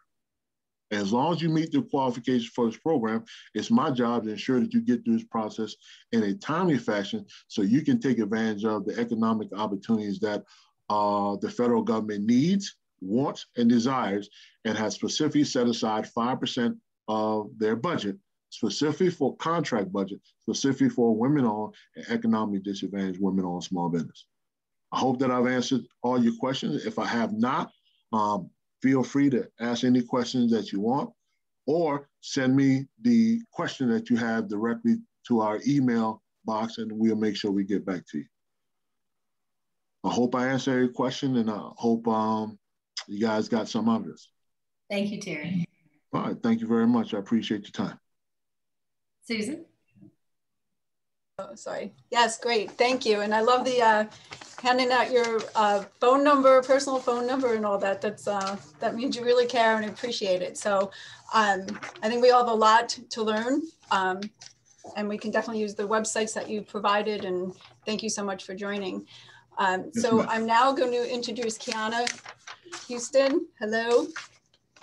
Thank you for being patient through the whole through the whole program. I did get a little bit of information. Uh, where are you? There you are. So I'm just going to read through it, and by uh, these four little sentences certainly doesn't cover your the your broad spectrum of the talents that you bring to the table, but I'll just take two seconds here to introduce you what I have. Uh, you're a Director of Acquisition Management Division for GSA Region 4. Uh, you're a certified federal contracting professional and a member of the Defense Acquisition Corps. Uh, you are a visionary leader, professional business advisor specializing in federal government contracting and business development. Uh, you hold a Bachelor of Science degree in management from the Alabama Ag Agriculture and Mechanical University and an M MBA from Walden University. And then we were discussing that you're also an author, you have a few books, you also own a few businesses, entrepreneur, you're, you're yourself, go out there uh, doing your own business. Uh, so welcome. And I turn the mic over to you. Thank, Thank you. you. so much for having me today. Yes, I, I'm a, a jack of all trades in, in many different ways, um, but I am a, in the federal space. So of course I do not bid on federal contracts. So that that is one important thing um, when you're in in the role that I play. But I'm Keanna Houston. I am the Director of Acquisitions for the General Services Administration Public Building Services uh, side of the House. Um, so one, one thing that's important to know is I've been a DoD contracting officer for most of my career. So I've been on the DoD space and I crossed over into the federal space in 2019 in July when I was hired on as the acquisition director here in Atlanta, Georgia area. And I'm excited to share with you a little bit about GSA um, because there's kind of a misnomer when people think GSA, you're like, oh, GSA schedules, yay. But there's more than one side to GSA. I work in the public building services, and in that side, we actually do all of the, we own it, all of the federally owned and leased buildings. So we actually maintain the buildings, not um, the schedules. But I do have some slides to talk to you about the GSA schedules because it's important to know about that best in class vehicle um, as it is one of the vehicles that we do use um, to purchase uh, various items, supplies, and services for uh, the federal space. So if, I'm just waiting for the slides to be brought up. But thank you so much, Cindy. And so I'm going to talk to you a little bit. You can go ahead and go to the next slide. Thank you. So I'm going to talk to you a little bit today about the two sides of GSA that we're going to talk about the GSA Federal Acquisition Service and the schedules process a little bit. Um, I cannot take ownership of those slides. I do have the, the POCs who provided me those slides and their contact information in the presentation, but I'll go over the GSA schedules a little bit. I'm also going to go over Region 4 PBS, which is the Public Building Services. And that's the section of uh, the GSA that I am actually the Director of Acquisitions for. I'm also going to talk to you a little bit about the PBS side, um, specifically to the Small Disadvantage, uh, the Office of Small Disadvantaged Business Utilization, which we call the OSDBU office, which is equivalent to our, our, our uh, miniature SBA within GSA. That, that's our small business points of contact. I'm going to go over some information about them as well um, and some information that's important to know about doing business with GSA. Next slide, please. So for, of course, we want to start off with how to how to do business with GSA, and and the first thing I always want to point people to is how to get on the uh, the multiple award schedule, also known as the MAS MAS. Um, um, that is one of our our main places that when you think of GSA, where you want to go. Go ahead and go to the next slide. And so the first thing you want to do when when you're when you're thinking about doing business with the with GSA specifically and and trying to get on schedule to have that opportunity for you to do business within the federal space because remember the GSA schedules are not just for GSA. They are considered a best in class vehicle. So um, a, a, few years ago, um, probably five, seven years ago, um, we the DoD side came out with the better buying power initiatives and that's kind of morphed through federal acquisition law. And so we have what's called best in class vehicles and, and the GSA schedules are one of them. What that means is that there is a type of platform that you can order contracts from or order, order uh, goods and services from um, that has some built-in benefits to them. Um, GSA schedules meaning that we've already have some pre-vetted vendors. And so um, where you've had your qualifications vetted, you've been awarded this contract, and now the federal space has an opportunity to purchase off of that where they put out solicitations into the GSA schedule space utilizing the GSA e-buy system. Now, one of the things to note with the GSA schedules is that um, it is not mandatory for federal governments to order off of them. So it's important for you to really figure out, are you a good fit? You wanna do your research, right? You wanna know about the schedules. You want to go out there and utilize all the resources that are on the websites and figure out what kind of federal agencies are purchasing off of those GSA schedules, um, look at the um, your postings on the eBuy system to see kind of the trends of what kind of things have been purchased um, on the GSA schedules, how often they've been purchased, if there's large gaps in time where things have been purchased. I like to compare the GSA schedules and the, um, the uh, Federal Business Opportunity, FBO, to kind of see where agencies are purchasing from and what kinds of things they're purchasing from. Um, you want to pre understand those prerequisites to getting on the schedule. You know, you have to have been in business for two years and provide two years of financial statements. So you want to have a, a, some kind of history of having uh, of being able to sustain your business. You want to uh, three or more federal contracts with the acceptable rating in CPAR. So that's for businesses that you know have kind of been established and you've gotten that kind of that foot in the door in the federal space. Remember, you don't have to be on schedule to to have been awarded federal contracts. So you want to be able to to have that past performance history. Um, and the CPARs is where we do our past performance history. Um, remember, if there are no no uh, CPARs ratings because you haven't won a federal contract, that's not a bad thing, right? The, the federal acquisition regulation gives us some guidelines to how to handle that. And so your solicitation when you're submitting on that will speak to that specifically the key here is making sure that you you're understanding kind of what you're getting yourself into and that you're you've established yourself as a strong business that's ready to move to the next level. Doesn't mean that you have haven't had commercial businesses haven't or, or excuse me done business with commercial companies but when entering into the federal space you really want to have built that background. I'm going to put a note here as well that there is a difference between past performance and experience. You'll often see in the in, in the uh, the solicitation world where we're asking for your past past performance and your experience. Though they often seem similar, that we're looking for different things. Past performance is speaking to how well you've performed on contracts, um, as far as the the uh, outcomes, were the the um, the ex the outputs that you put out, were your your customers happy with what you did? Were you on time? Were there quality schedule? You know, did you maintain the schedule? Were your cost constraints good? Those kind of things. That's your past performance. But your experience is speaking to how long and how well you're doing the job. So how did you perform? How well did you perform? Were you utilizing good supplies? Were you, you know, did you have a good supply chain? Things of that nature. So wanted to point that out. And the last thing you want to think about when you're thinking about schedules are, you know, the application process. It's lengthy. So you don't want to try to go in and get a GSA schedule to bid on a solicitation that's already out there and which is closing in a month. You, you won't get on schedule on time. It's a lengthy process to get on the, the, um, the MAS schedules. So you have to be mindful of the timing it takes to get on the schedules because it can take up to 12 months and sometimes more depending on which, uh, which of the schedules you're going to. Next slide, please. Um, so this this slide is going to talk about the um, roadmap for schedule holders. As I talked about, there are a lot of resources available for you, but you want to make sure that you're getting ready. So you've done your research on the schedules, what's requirements, what agencies are bidding off of it. If it's agencies that you're looking to um, to have purchasing your goods and services because you think you're a good fit, you want to make sure that you are assembling your offer according to the solicitation, right? You're looking at what they're asking for.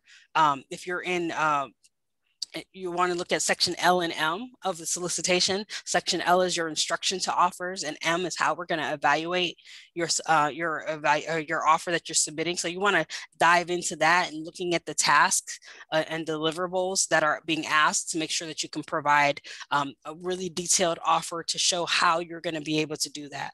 A lot of times the misconception is um, or a, lot of mistakes that businesses make is they don't read the solicitation in its entirety. We really, even if there's very lengthy, you really got to read the solicitation and make sure you dive into what we're asking you for, because a lot of times businesses try to give us kind of their capabilities built into it. And when we're evaluating your offer, we don't care about just the blanket capability statement where you're giving me the fluff about your business. I want to know, can you do the work? Give me the details of what I'm asking you for. It's great that you've been in business for 15 years and you've been in international spaces and all that fluff language that you do in the cover letter. Most times we're, we're, we're, we're skimming through that. We're looking for the meat of it and we're making sure that you didn't exceed your page count. So be mindful of that but also um, we want to make sure that you're finalizing your offer. If it's a negotiated procurement, you're going to have multiple steps in your procurement where you're going to assemble your initial offer, you're going to submit it, there's going to be an evaluation, they open up for negotiations to talk through different aspects of your uh, proposal. And then we're going to go into your final offer um, where you're going to give us your best and final, where you're going to revise your offer based off of um, those negotiations. Not every procurement is negotiated. So you should always present your offer as if it was your best and final offer um, because not every procurement is negotiated. Next slide, please we want to make sure that you're going that when you're getting ready that we train you. So you want to look at those uh, the pathways to success information on that site. You want to do your readiness assessment and training, all of, available on the website um, on GSA schedules, the site that was on the previous slide on that roadmap. Um, there's hyperlinks throughout the roadmap that will bring you to different sections of the GSA website. You can go on the eBuy website and find um, training resources there. You can go to GSA's website. Um, the other thing, the next thing you want to do is make sure you register. So you do need to have, make sure you have a DUNS number. The DUNS number is your Dun and Bradstreet number. Um, it's important to have that because that's usually where we're looking for your financial capabilities, um, depending on the size of the business. Um, well, in general, that's where we look for their financial capabilities through Dun and Bradstreet. Um, you want to make sure you're registered for SAM. That is a requirement for all federal contracts that you have to be registered in SAM. Um, we want to make sure that you have strong past performance. Um, if you haven't done work in your federal space, remember that in your solicitation, your corporate experience is just as important, right? You want to make sure that when you're speaking to your past performance, many solicitations ask for a questionnaire. So get those those companies that you did, you know, that you exceeded expectation to re, to uh, vouch for you, to give you that that feedback, and then interact, right? Um, when we're when we're talking about interact here come to our industry days respond to our rfis uh, if we're if we're putting out information to say hey we're thinking about doing something a lot of times we have not made a decision um, if we're putting out a request for information or some form of market resource sources sought information, many businesses miss an opportunity to shape our procurements because they don't respond. If we're putting out that information, it means that we're looking to shape how we're going to buy something. And we, we don't know who's out there in the market. Um, new businesses, new business enters the market on, on a daily basis. So a lot of times we put that information out to gather from you maybe the best way to procure something or maybe a, a different way to maybe consider how we group our contracts or maybe to consider what kind of set-asides are available to us um, where we haven't thought about maybe setting aside for a woman-owned small business or economically disadvantaged woman-owned small business. Um, respond to that information. Um, and, and a lot of, and also a lot of times we're not quite sure what market price is. So we're asking you for range information. We want to know what is the market paying for that that thing that we're buying. What's what's the going rate for that these these days? Um, the federal government oftentimes is a little behind the curve when it comes to things of that nature because industry is moving ahead all the time it's a known fact that when you talk to technology industry is well far advanced beyond beyond the federal government. So we're looking to you to provide us that kind of information. And then the last thing is make sure you understand the solicitation. So here there's an example here of a solicitation. Um, typically the, the biggest difference you'll see is a RFQ versus an RFP, request for quote versus a request for proposal. Request for quote is typically uh, a, a, proposal being asked on GSA schedule specifically. Request for proposals are typically off of schedule. So that's one of the, key, the keys there. But here we have a couple of links as well as a YouTube video to actually walk you through a solicitation to help you break down those parts. Next slide, please. So here, next, you're going to want to assemble your off your offer. So uh, again, this is for you getting on schedule. So you're going to want your agent authorization letter, your letter of supply, and you utilizing your price proposal templates, which is the three forms that are going to be um, required for being getting on schedule. And then the the next set and i'm not going to read all these to you but you're wanting to make sure that you have all of this information in advance um, it requires a little bit of, of pre-work to before you start looking to bid on contracts so this kind of gives you a, a example of things that you want to make sure you're you have in advance financial statements again if you don't have a strong dun and bradstreet uh, background because you, maybe you're newer to dun and bradstreet and they haven't uh, determined your financial capability or giving you that grade, having those financial statements help uh, give us an idea of how well you're able to maintain your business. Um, subcontracting plans, who are you doing business with? Um, are you, you know, outsourcing everything? You know, um, Terrence spoke to about that 51% ownership. We look at that. Um, it's very important that we, we know who's owning the company and the makeup of the company. And it, are you outsourcing everything or are you becoming just a middleman? Are we paying higher prices because we're paying your overhead plus the other company's overhead? Because oftentimes when we see that trend, we're going to try to get to the, the, end, the source company and, and cut out the middleman to save the taxpayer dollar. Um, we're going to look at your pricing list. Are your prices, you know, in line with other markets uh, uh, uh of other businesses in in the same market? Are they similar? Are they grossly higher or too too low? We're looking for that. Um, being too low on an offer is not actually a good thing. Um, we have two different types of buying. We buy lowest price technically acceptable and best value trade-off process, right? Sometimes low prices indicated lack of understanding.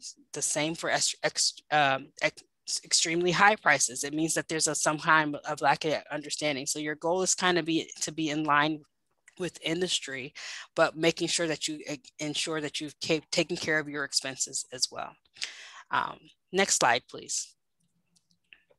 And next, you're going to finalize your offer. And so here, that's when we, we're talking about going ahead and submitting that offer into the e-offer uh, site here. There's a hyperlink there in this presentation. So when you get a copy of that, you'll be able to click on all these links.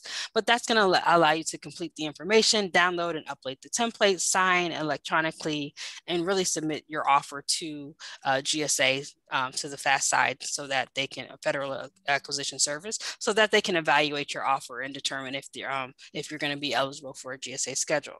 They're going to review that offer, right? They're going to review it, make sure that it's in line.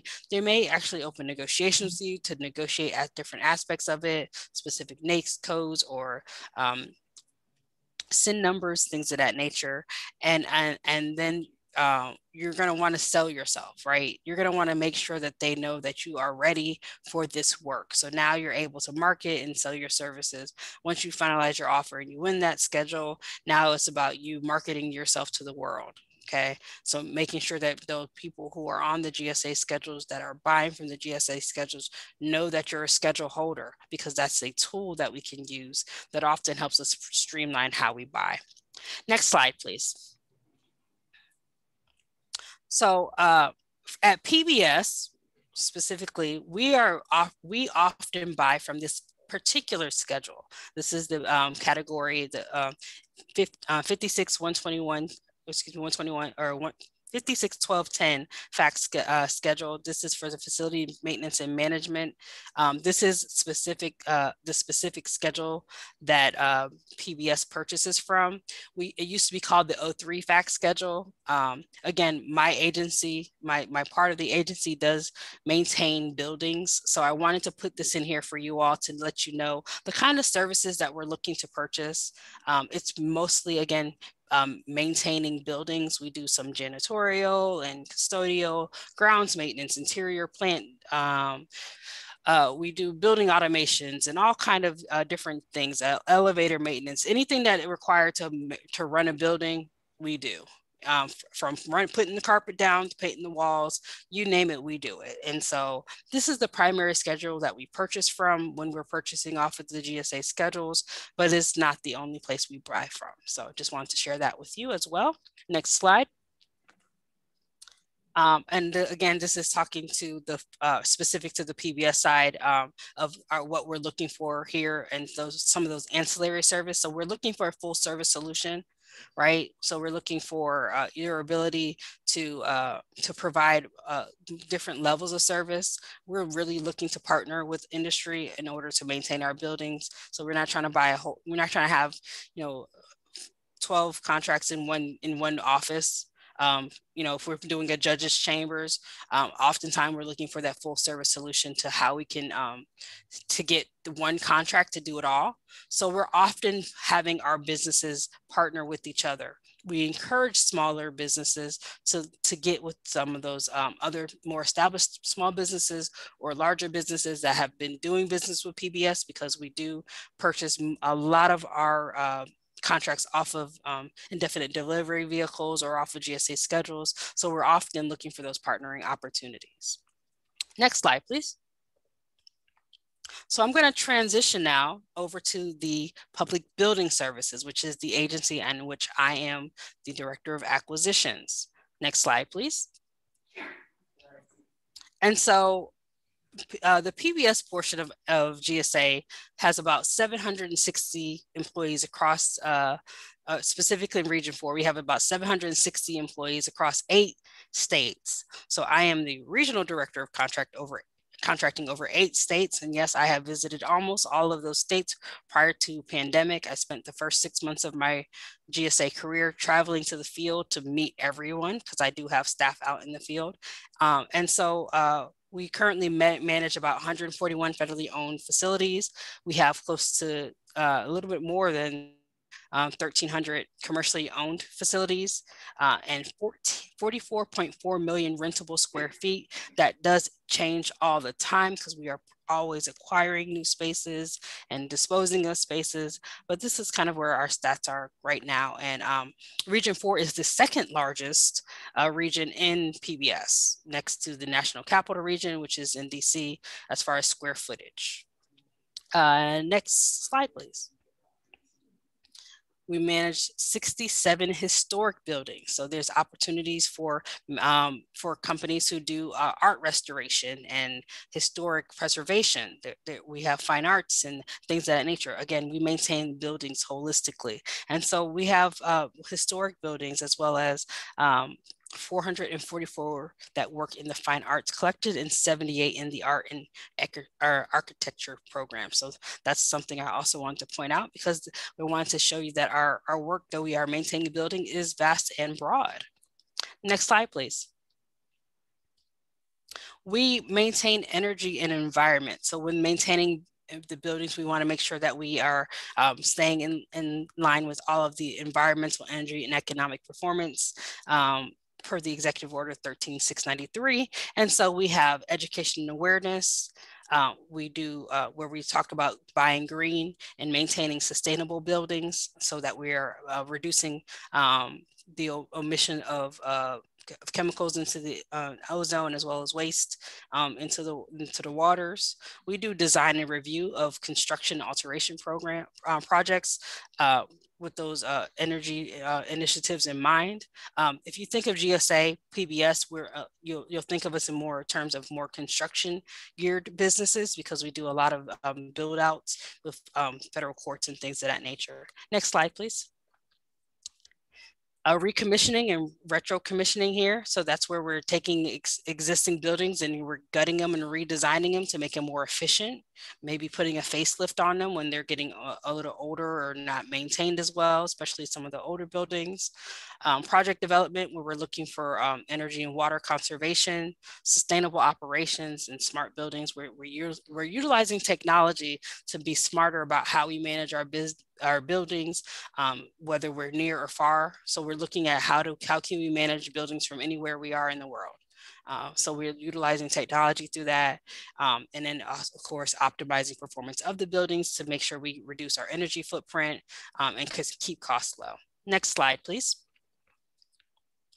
building automation. I kind of touched on that a little bit, but um, here are a couple highlights about our building automation program, which is a really big feather in our hat as we have been able to optimize some of our most historic buildings. Region 4 has some of the most historic buildings in GSA. It's um, portfolio. And so we've been able to, to utilize some of this technology, as I talked about with, um, with our energy initiatives of even some of the oldest buildings in our portfolio, being able to kind of um, optimize them and, and really have them performing so that they're energy efficient, as well as updating them to, to meet current standards. So that, that's something really important to us. Next slide, please. And so for the acquisition management specifically, uh, this office was actually established as a standalone office in 2009. So acquisitions has always existed right? The government buys stuff. We've always had to buy stuff. But we were we were stood up in 2009 as a, a separate entity within pbs and that was important because it was the first time we separated acquisitions from under their customers, which was very important because when you're working for your customer, sometimes there's um, conflicts of um, who's on first or, or what what what mission are you serving? Um, do, are you following the regulations? Or are you following what your customer is telling you because they're signing your paycheck? So this helped delineate some of those conflicts there. Next slide please our vision and our, our mission is to deliver quality on-time service within budget, minimizing risk to the procurement while staying within regulatory guidance. And we want to have the most highly respected and dynamic source of design, construction, and service acquisition expertise. In layman's terms, we want to be the best right? I want my people to be the best that they can possibly be, to be professional, and also make sure that we are on time, on budget, and minimize your risk. We want to help you get to your end goal. And we're doing that through uh, partnership, collaboration, and really staying true to our five principles of AMD. Next slide, please overall, our divisional area of responsibility, I've touched on most of this already, but we do uh, oversee the acquisition workforce and training development. We could um, coordinate uh, procurement preference programs. We maintain our vendor relationships. That is a very important thing for us. Um, provide oversight and acquisition training uh, and a broad range of contracting services related to that facility management and design construction. Next slide, please. Uh, we also are really, we focus on being business advisors and providing sound business advice. Um, again, we, we, our primary focus is on the management and, and procurement of commodities and services to uh, with in, with the facilities operation and maintenance in mind. Um, and we do execute um, acquisitions on behalf of our offices, which we affectionately call our PMCs, our property management centers. And we all always in, uh, concerned with staying in compliance with all laws, regulations, and policies. Next slide, please. Here you have my contact information. I am Keanna Houston. I am the director, regional director of acquisitions. My email address is provided there for you as well as this website to the region for acquisitions. But just like Terrence, if you have questions, myself and my staff are available. And so just like Terrence, my government phone here it's not paid for by me, right? And so it's readily available to you. So my number is 404 889 7641. Again, 88, excuse me, 404 889 7641. If you have any questions on acquisition related, um, anything with PBS, I will be happy to answer to you. If you have questions specific to the GSA schedules, I'll make sure to get you in contact with the right person. Next slide. I have just a few more slides. I know this is a long presentation, but GSA is far and wide, and I wanted to make sure I gave you a comprehensive look at GSA. So the Office of Small Business Utilization or Small Disadvantaged Business Utilization uh, is, is head by Chastity Aston Major George here in Region 4. Next slide, please. And so they have nationwide responsibility for small business programs. So that means that they are the advocate for small businesses, small disadvantaged businesses, women owned small businesses, women uh, economically disadvantaged small businesses. If you are any in any small business socioeconomic category, they are your advocate to GSA. Next slide, please. This slide is a little hard to read, but the he key thing I wanted to point out here is I want you to make sure that you go to this website about subcontracting. As I mentioned early on in the presentation at GSA PBS specifically, a lot of our business is purchased off of existing contract vehicles. What that means is we put in contracts in place to be able to purchase off of them to be able to quickly respond to our, our buildings and our tenants' needs. So we're off, always looking for opportunities for businesses to subcontract for creating new subcontracting opportunities. And so this directory is going to help you partner and, and get in touch with those opportunities. Um, it provides you the, the ability to gain experience without being primes on um, contracts and later become primes. And so we wanted to make sure that you know this information. So please make sure you go to that website and be familiar with the information being provided there for you. Next slide, please. Again, this is a little small, but what we're here, we want to make sure that when you're marketing yourself to, to for federal contracts, especially when you're entering the federal space, we want you to uh, do your research. Look at um, the FPDS data. That's a, a national repository of everything the government buys, regardless of the agency. We have to feed that information into the Federal Procurement Data System or FPDS. Um, so we want you to go out there and do your research. Look for NAICS codes that are in line with your businesses. Get familiar with the kind of companies that are are winning contracts and what kind of things that they're uh, the kind of pricing that they're winning for, for over the terms of contract, things of that nature. We want you to become familiar with uh, with marketing yourselves, and, and the best way to market yourself is to know the businesses that you're trying to market to. Um, so there's some links here. Again, we have the FPDS site. We have sam.gov, the beta.sam.gov. Um, we do post a lot of solicitations there, but there's also a lot of information there. Um, we also say reach out to SBA. Terrence is a great resource for you, but SBA has a lot of resources on their website. And lastly, um, the Procurement Technical Assistant um, Center, the PTAC. Um, they have a website as well where they can help with additional assistance from a marketing standpoint, suggest contracts, uh, different um, prime businesses that you may want to partner with. So we want to make sure that you utilize your resources to finding those subcontracting opportunities, especially when you're first trying to enter into the, the federal space. Next slide, please. Here is Chastity and Major's contact information. Uh, again, um, they're email is provided to you, as well as the link to our G Region 4, as well as their site. So if there's uh, there's a lot of information on those sites, so please go there. And if you have any questions, by all means, reach out to them at that email. They do monitor that email as well. And I think that's it. Next slide. We're going to have a Q&A question, uh, session at the end. So if you can go to the next slide. I just want to thank you on behalf of GSA for allowing me to talk to you today about the Federal Acquisition Service, the Public Building Services, and our Small Business Office to all partner with you to help you do business with GSA and your future uh, opportunities with the federal government. Thank you so much for your time. I am Keanna Houston, and it has been my pleasure speaking with you today. Thank you, Keanna. It was wonderful. Thank you. So my first um, I actually had a GSA contract. My, or my the first um, solicitation I ever had to write. I w- we were going to hire like a third party to help write it, and I'm like, I'll never learn the process if I don't do it myself. So that was like in 1999. So, so thank you, thank you, um, Eric. I'm going to turn it over to you. I'm not sure. I don't see him up there, but I know I'm he's on sure. here.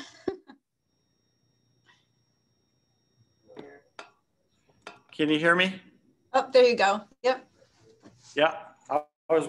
Thank you so much, everybody. It was so fun. Um, yeah, do we have any questions from the floor for our panelists or for our for our uh, speakers, for Keanna and Houston, or for any of the entrepreneur panelists, or would an, any of the panelists like to off, ask questions of our speakers? I don't I don't have any questions, but I want to add in reference to you know seeking government contracts. Since I work with so the, so many of these entrepreneurs that one they want to get them. Uh, sometimes they're not ready. They're not ready for them. Uh, as you scale, you have to be ready to grow. And and we see a lot of this where a lot of small entrepreneurs want to apply, but they're not ready. They don't meet the requirements that um, she was talking about. So just be cognizant of that. And that's why we, we promote that that uh, that partnership with becoming subcontracting with some of those other businesses because sometimes you're not quite ready to hold that contract by yourself but you have something to offer. Um, we have learned uh, great partnerships with our, our companies with through their subcontracting opportunities whether it's something as minor as their janitorial services where we have the guy who's cleaning their you know picking up the trash um, when they're on the construction site to the person who's actually helping put the hvac in the building um, those small those partnerships no matter how large or small they are help you gain that experience to do business with us and, and you may not be ready right away but you definitely will be able to um, partner I, thank you. I, I, have a comment to that, Eric, if I can. Um, kind of tying in AUSA and all the community partners and, you know, reaching like networking and helping each other. That's part of what AUSA is all about. So I know there's always been efforts on um, for, for first region, we're trying to do like a, not a mentorship program, but just like a, um, oh, I forget what I even call it, but where I'm trying to help the community, the chapters reach out to the community members, but even having SBA's um, trying to network with those companies that aren't familiar with AUSA. There's got to be a way we can link this all together with working with um, the SBA office and GSA more closely. Um, I mean, I, I know we do at some level, but you know, taking it down to that chapter level.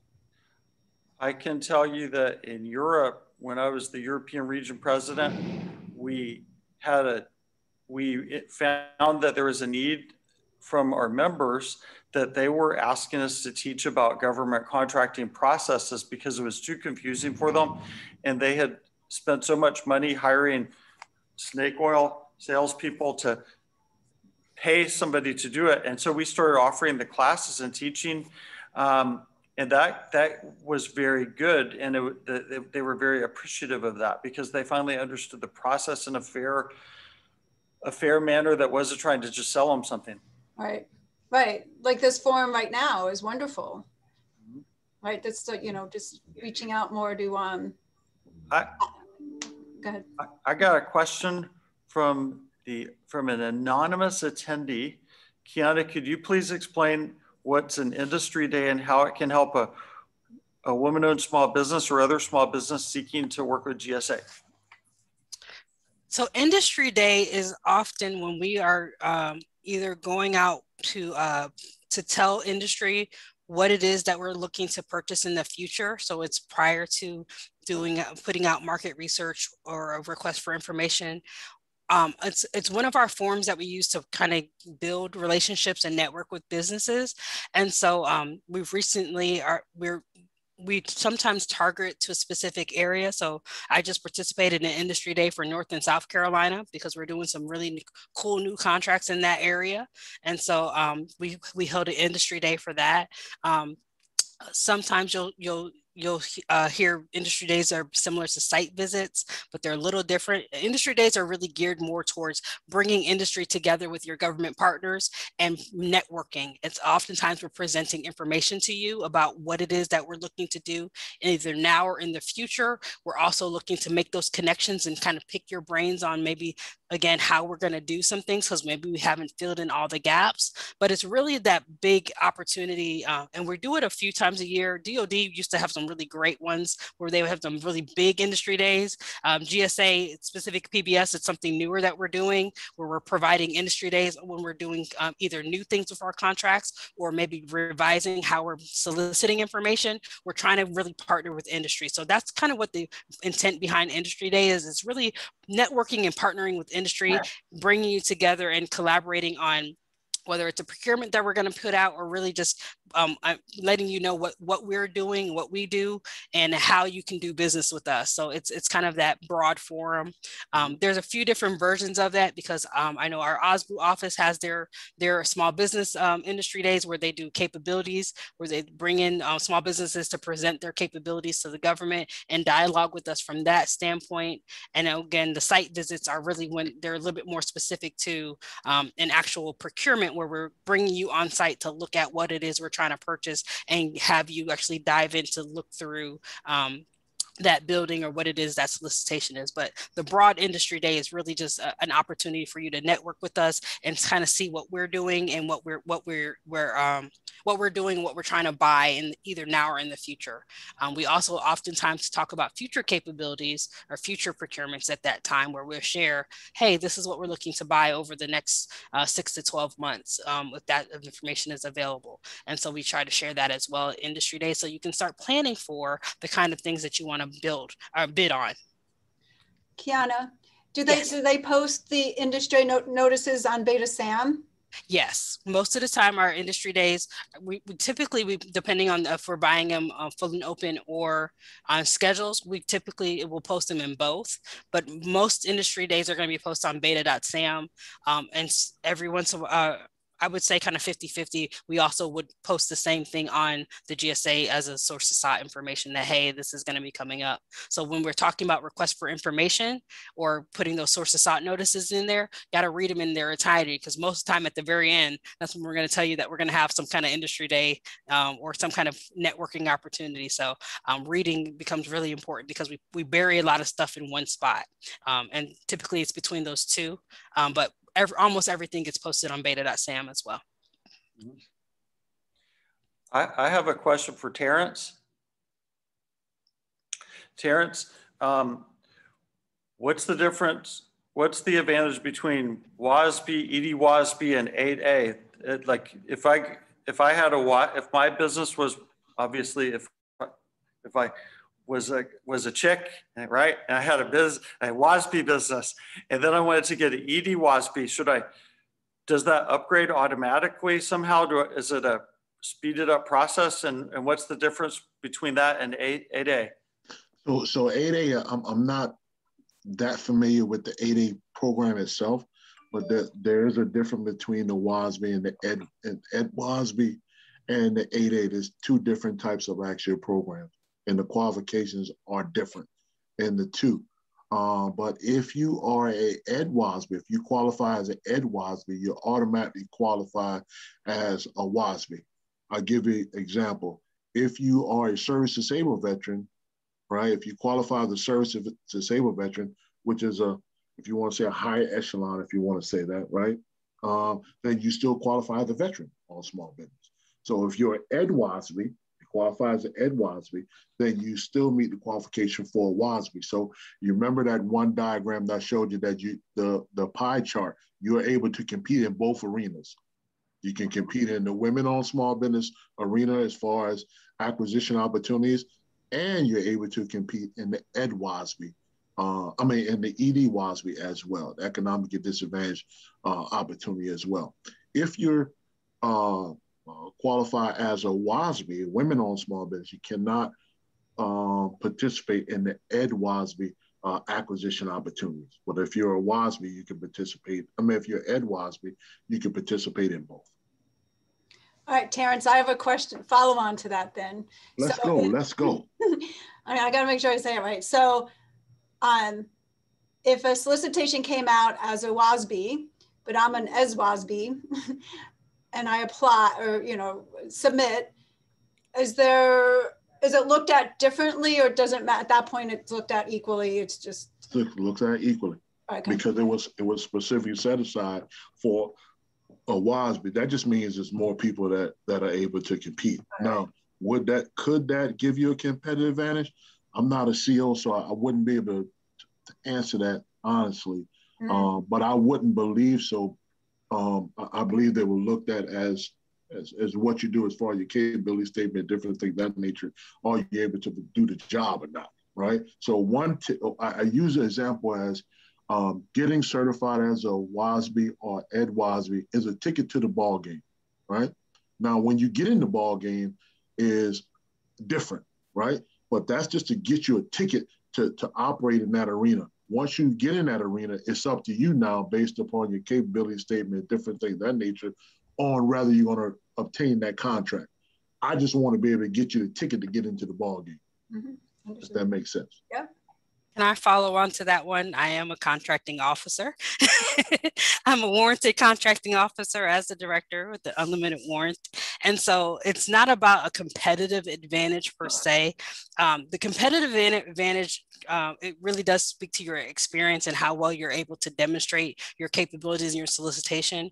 Where you're looking for is if the solicitation is set aside for specific programs. So if it's set aside for just women-owned small businesses, there's no ex, ex, uh, extra competitive advantage, advantage for being an economically disadvantaged. Where it comes to play is if you win that contract, we're thinking how can we meet our small business goals? Because every agency has small business goals. So oftentimes when we're putting those requests for information out, we want to know what your start, what kind of um, how your business is certified. Because if we have enough of you that are economically disadvantaged, maybe we're not going to do women owned. Maybe we're going to go economically disadvantaged. Maybe we're looking for hub zones. Government struggles getting hub zone um, contracting um, to meet those goals every year. So we're looking for hub zones. We're looking for different makeups we typically buy a certain way in the beginning of the year and then towards the end of the year you start seeing a shift and then when we get closer to september we're looking for sole source opportunities because we're running out of time because september 30th is that cutoff date. So you're going to want to make sure that you have all of that information available. So it's not necessarily a competitive advantage when bidding on that solicitation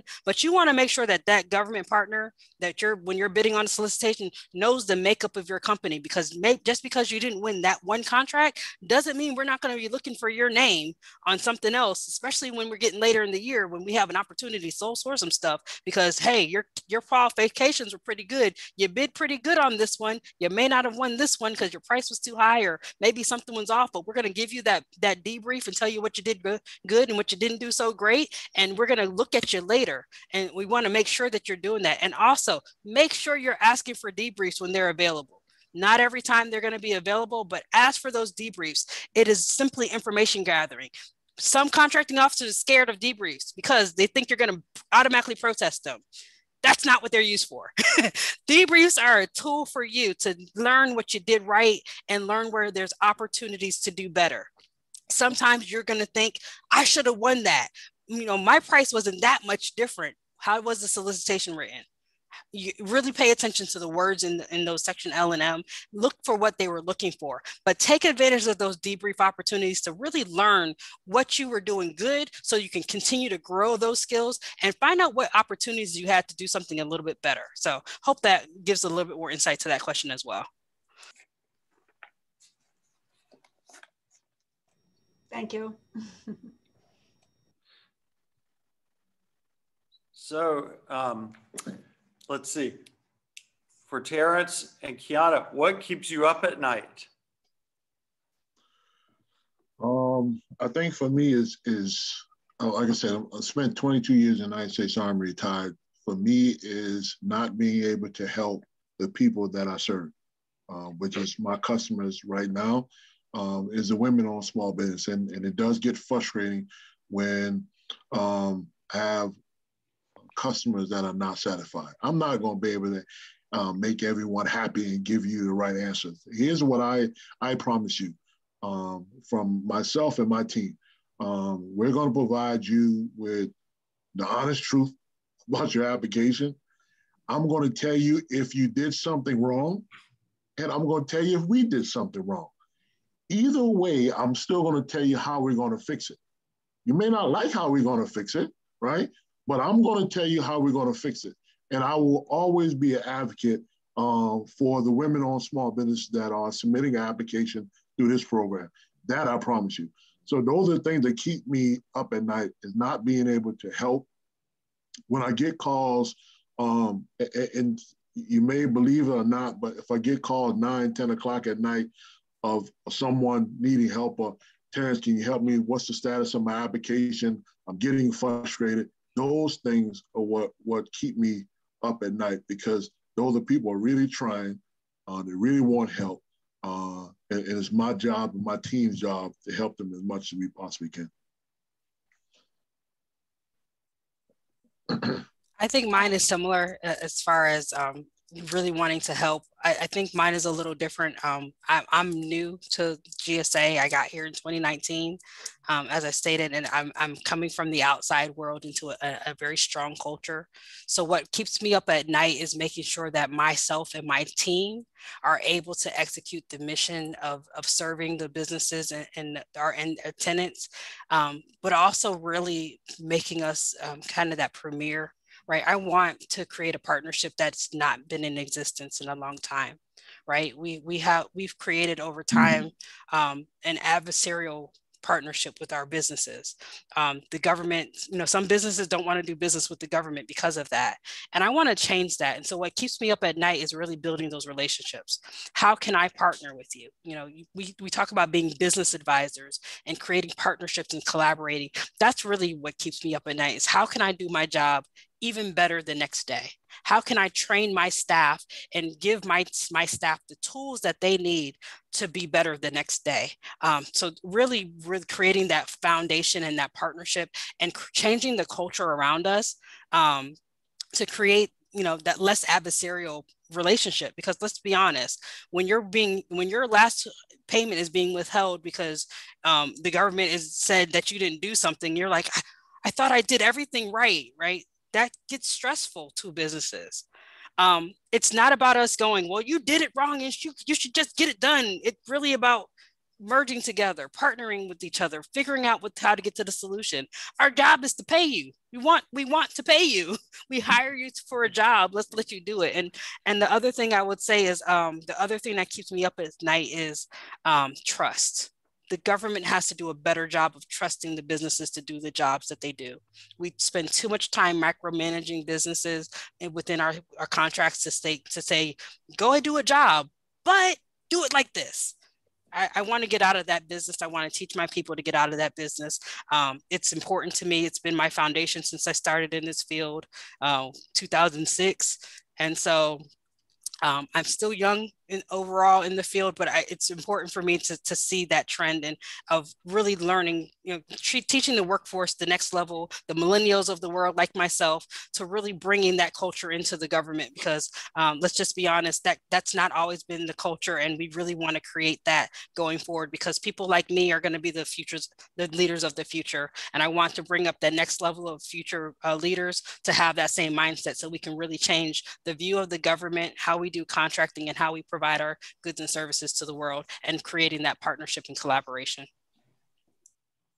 Oh, I commend you, Keanna, on that because so we're a manufacturer and uh, we're, we're trying to get more um, of the KOs or just like the specialists to come in and see our process of what we do because they see it as a flat number, just it's this, and we'll dive into well, what justifies the numbers, but there's still it doesn't click sometimes. So whatever, however we can help you. And again, AUSA, I, I keep plugging AUSA, but I just think from an industry perspective, and, and then what you know, there's got to be this way we're merging and helping each other more.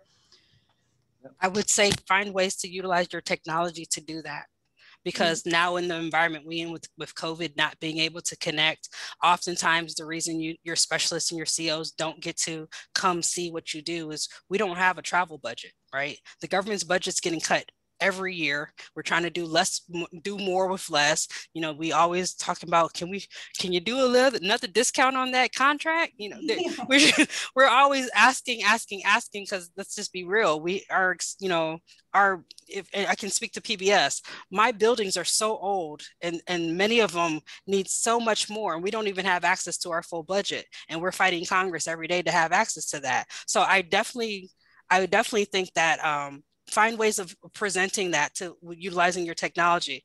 Videos walkthroughs things of that nature creating that uh, out, opportunity out there when you're doing your capabilities to be able to give them more insight to that because we don't see it oftentimes. We don't get it because we many of us have never left that desk in that computer doing that contract. You know we only know from that seat. And i know you know I, I was the one who was volunteering to get out there you know, to see stuff. And as I saw stuff, I learned stuff. And I was like, oh, I got a different perspective. Well, how do you do that? Oh, okay, great. So it's, it's important. And, and I think with the new environment and the use of technology, there's a lot more opportunities to do it, um, even and, and make it more cost effective so that it's out there, you know, create partnerships, create capabilities, partner with your small business office to say, hey, we have these capabilities, but we really want to target the contract workforce to show them what we do can is there a way for you to set that up? Our small business offices are awesome about setting those up and getting the right people to the table so that not only the contracting folks see it but those program managers and those end users get to see what it is you do so that they're not so because they're not challenging it so much in the evaluation.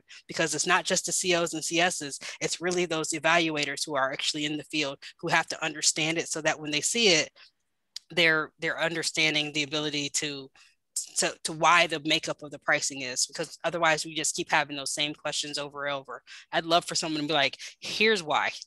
Go watch this video. here's the here's a three minute video on the highlights of what you need to know, you know. You know, so there I think there's opportunities there. It has been such a pleasure having everybody here today. We learned so much from across many continents across many different agencies, across many different skill sets. Um, we as AUSA leaders always try and promote our role within as sort of an ombudsman between between the military and the contractor community. I always tell people that contractors are sort of like the fifth leg of the army because you have the active reserve guard army civilians and then the contractors because the army couldn't do it without the contractors out there. But this has been a great pleasure. I want to extend our a message from us. If you guys need any help from from GSA or the Small Business Administration, count on us. We we got we have people out in chapters all over the country, even overseas, uh, Europe, Africa, uh, Middle East, Asia. Uh, we can reach people out there if if you need to speak with people, and we're here. Any, anybody have any closing remarks before we go, before we move on? Yeah, Rosie? All righty. Well, I just wanted to let you know that it has been a pleasure for Rosie Paulsen Enterprises to hold the um, Uh, uh, summit here in my office. And if you ever need to reach out Hispanics or reach out business owners, I am in the heart of tenant Country in Tampa, but this is a, a business resource center. The whole goal of this center is to help business owners stay in business because we want to make sure that they succeed. 70% of the economy of the United States is run by small businesses. So it is in our best interest as Americans to make sure that they stay in business. So Terrence and Keanna, if you ever need this place, just give me a call. I would love to host you guys um, so we can educate the community and make sure we get them equipped, empowered, and to succeed. Thank you. I have an office down in Tampa, so I might have to come visit you when next time I'm so, down visiting my uh, team. Is Cindy Pritchett? Can you you guys hear me? Is Cindy? I'm looking for Cindy Pritchett to tell us about. Cindy is the is our vice president of NCO and Soldiers Affairs. She's a retired command sergeant major, and she's also one of the local directors for the Army Women's Foundation. She will tell us about a scholarship award ceremony that the Army's Army Women's Foundation has later on today. Cindy? All right, thanks, Eric. Uh, and uh, first of all, to everybody that was pres presenting today, that was really great information. Uh, I don't think they have my video. Uh, she might come back to us. Uh, can you hear me? Okay, well. Um, we, we, can hear her, Eric. If she comes back to us, Eric, she'll come back to us. But, um, yeah. We can hear her. Oh, you can't? Okay, I can't hear her. Yeah, I, yeah, I don't think you have my video because I came in as a guest. So um, first of all, thanks uh, everybody for the great presentation. And there, I think, is my video. There we go. I had to enable you. okay, so uh, as Eric said, I'm uh, I'm the vice president of the Army Women's Foundation. We're a 501c uh, nonprofit, and our goal of our foundation is to promote um, the history of Army women and to advocate for those presently serving. Uh, as part of that, we have um, we have a number of programs, but our two our big program is uh, our annual scholarship award program, and then uh, our Hall of Fame induction program. So that is getting ready to take place this afternoon at 2 p.m. Uh, we'll uh, award over 80,000 scholarships to the children of Army women and to Army women and Army women veterans that are currently going to school both in community college, four-year college, or pursuing a master's or PhD. So um, Eric offered me this opportunity to tell you that if you go to our website at www.awfdn.org, you'll see a link that will at two o'clock go live and bring the uh, scholarship awards and the actual Hall of Fame induction of uh, the seven recipients today at 2 p.m.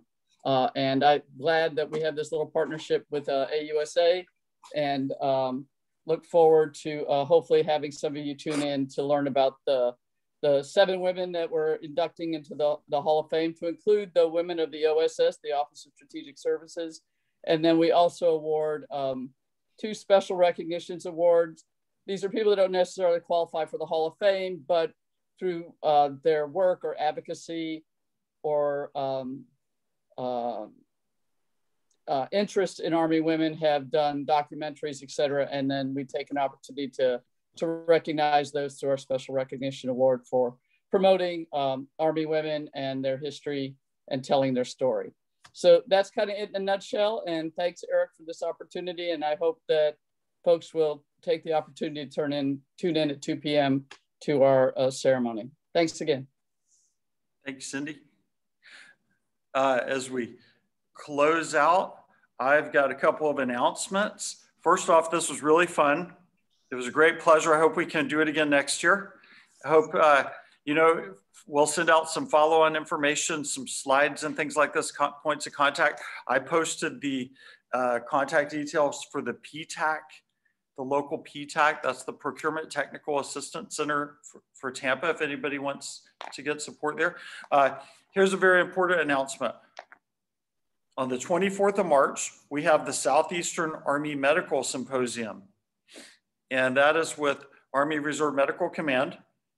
And we're gonna talk about medical operations past, present, past and present during pandemics and other challenges. So there'll be a heavy focus on the on the current COVID response. Who is we? Role, I'm sorry? Who is we? Oh, go ahead, Cindy. Tell.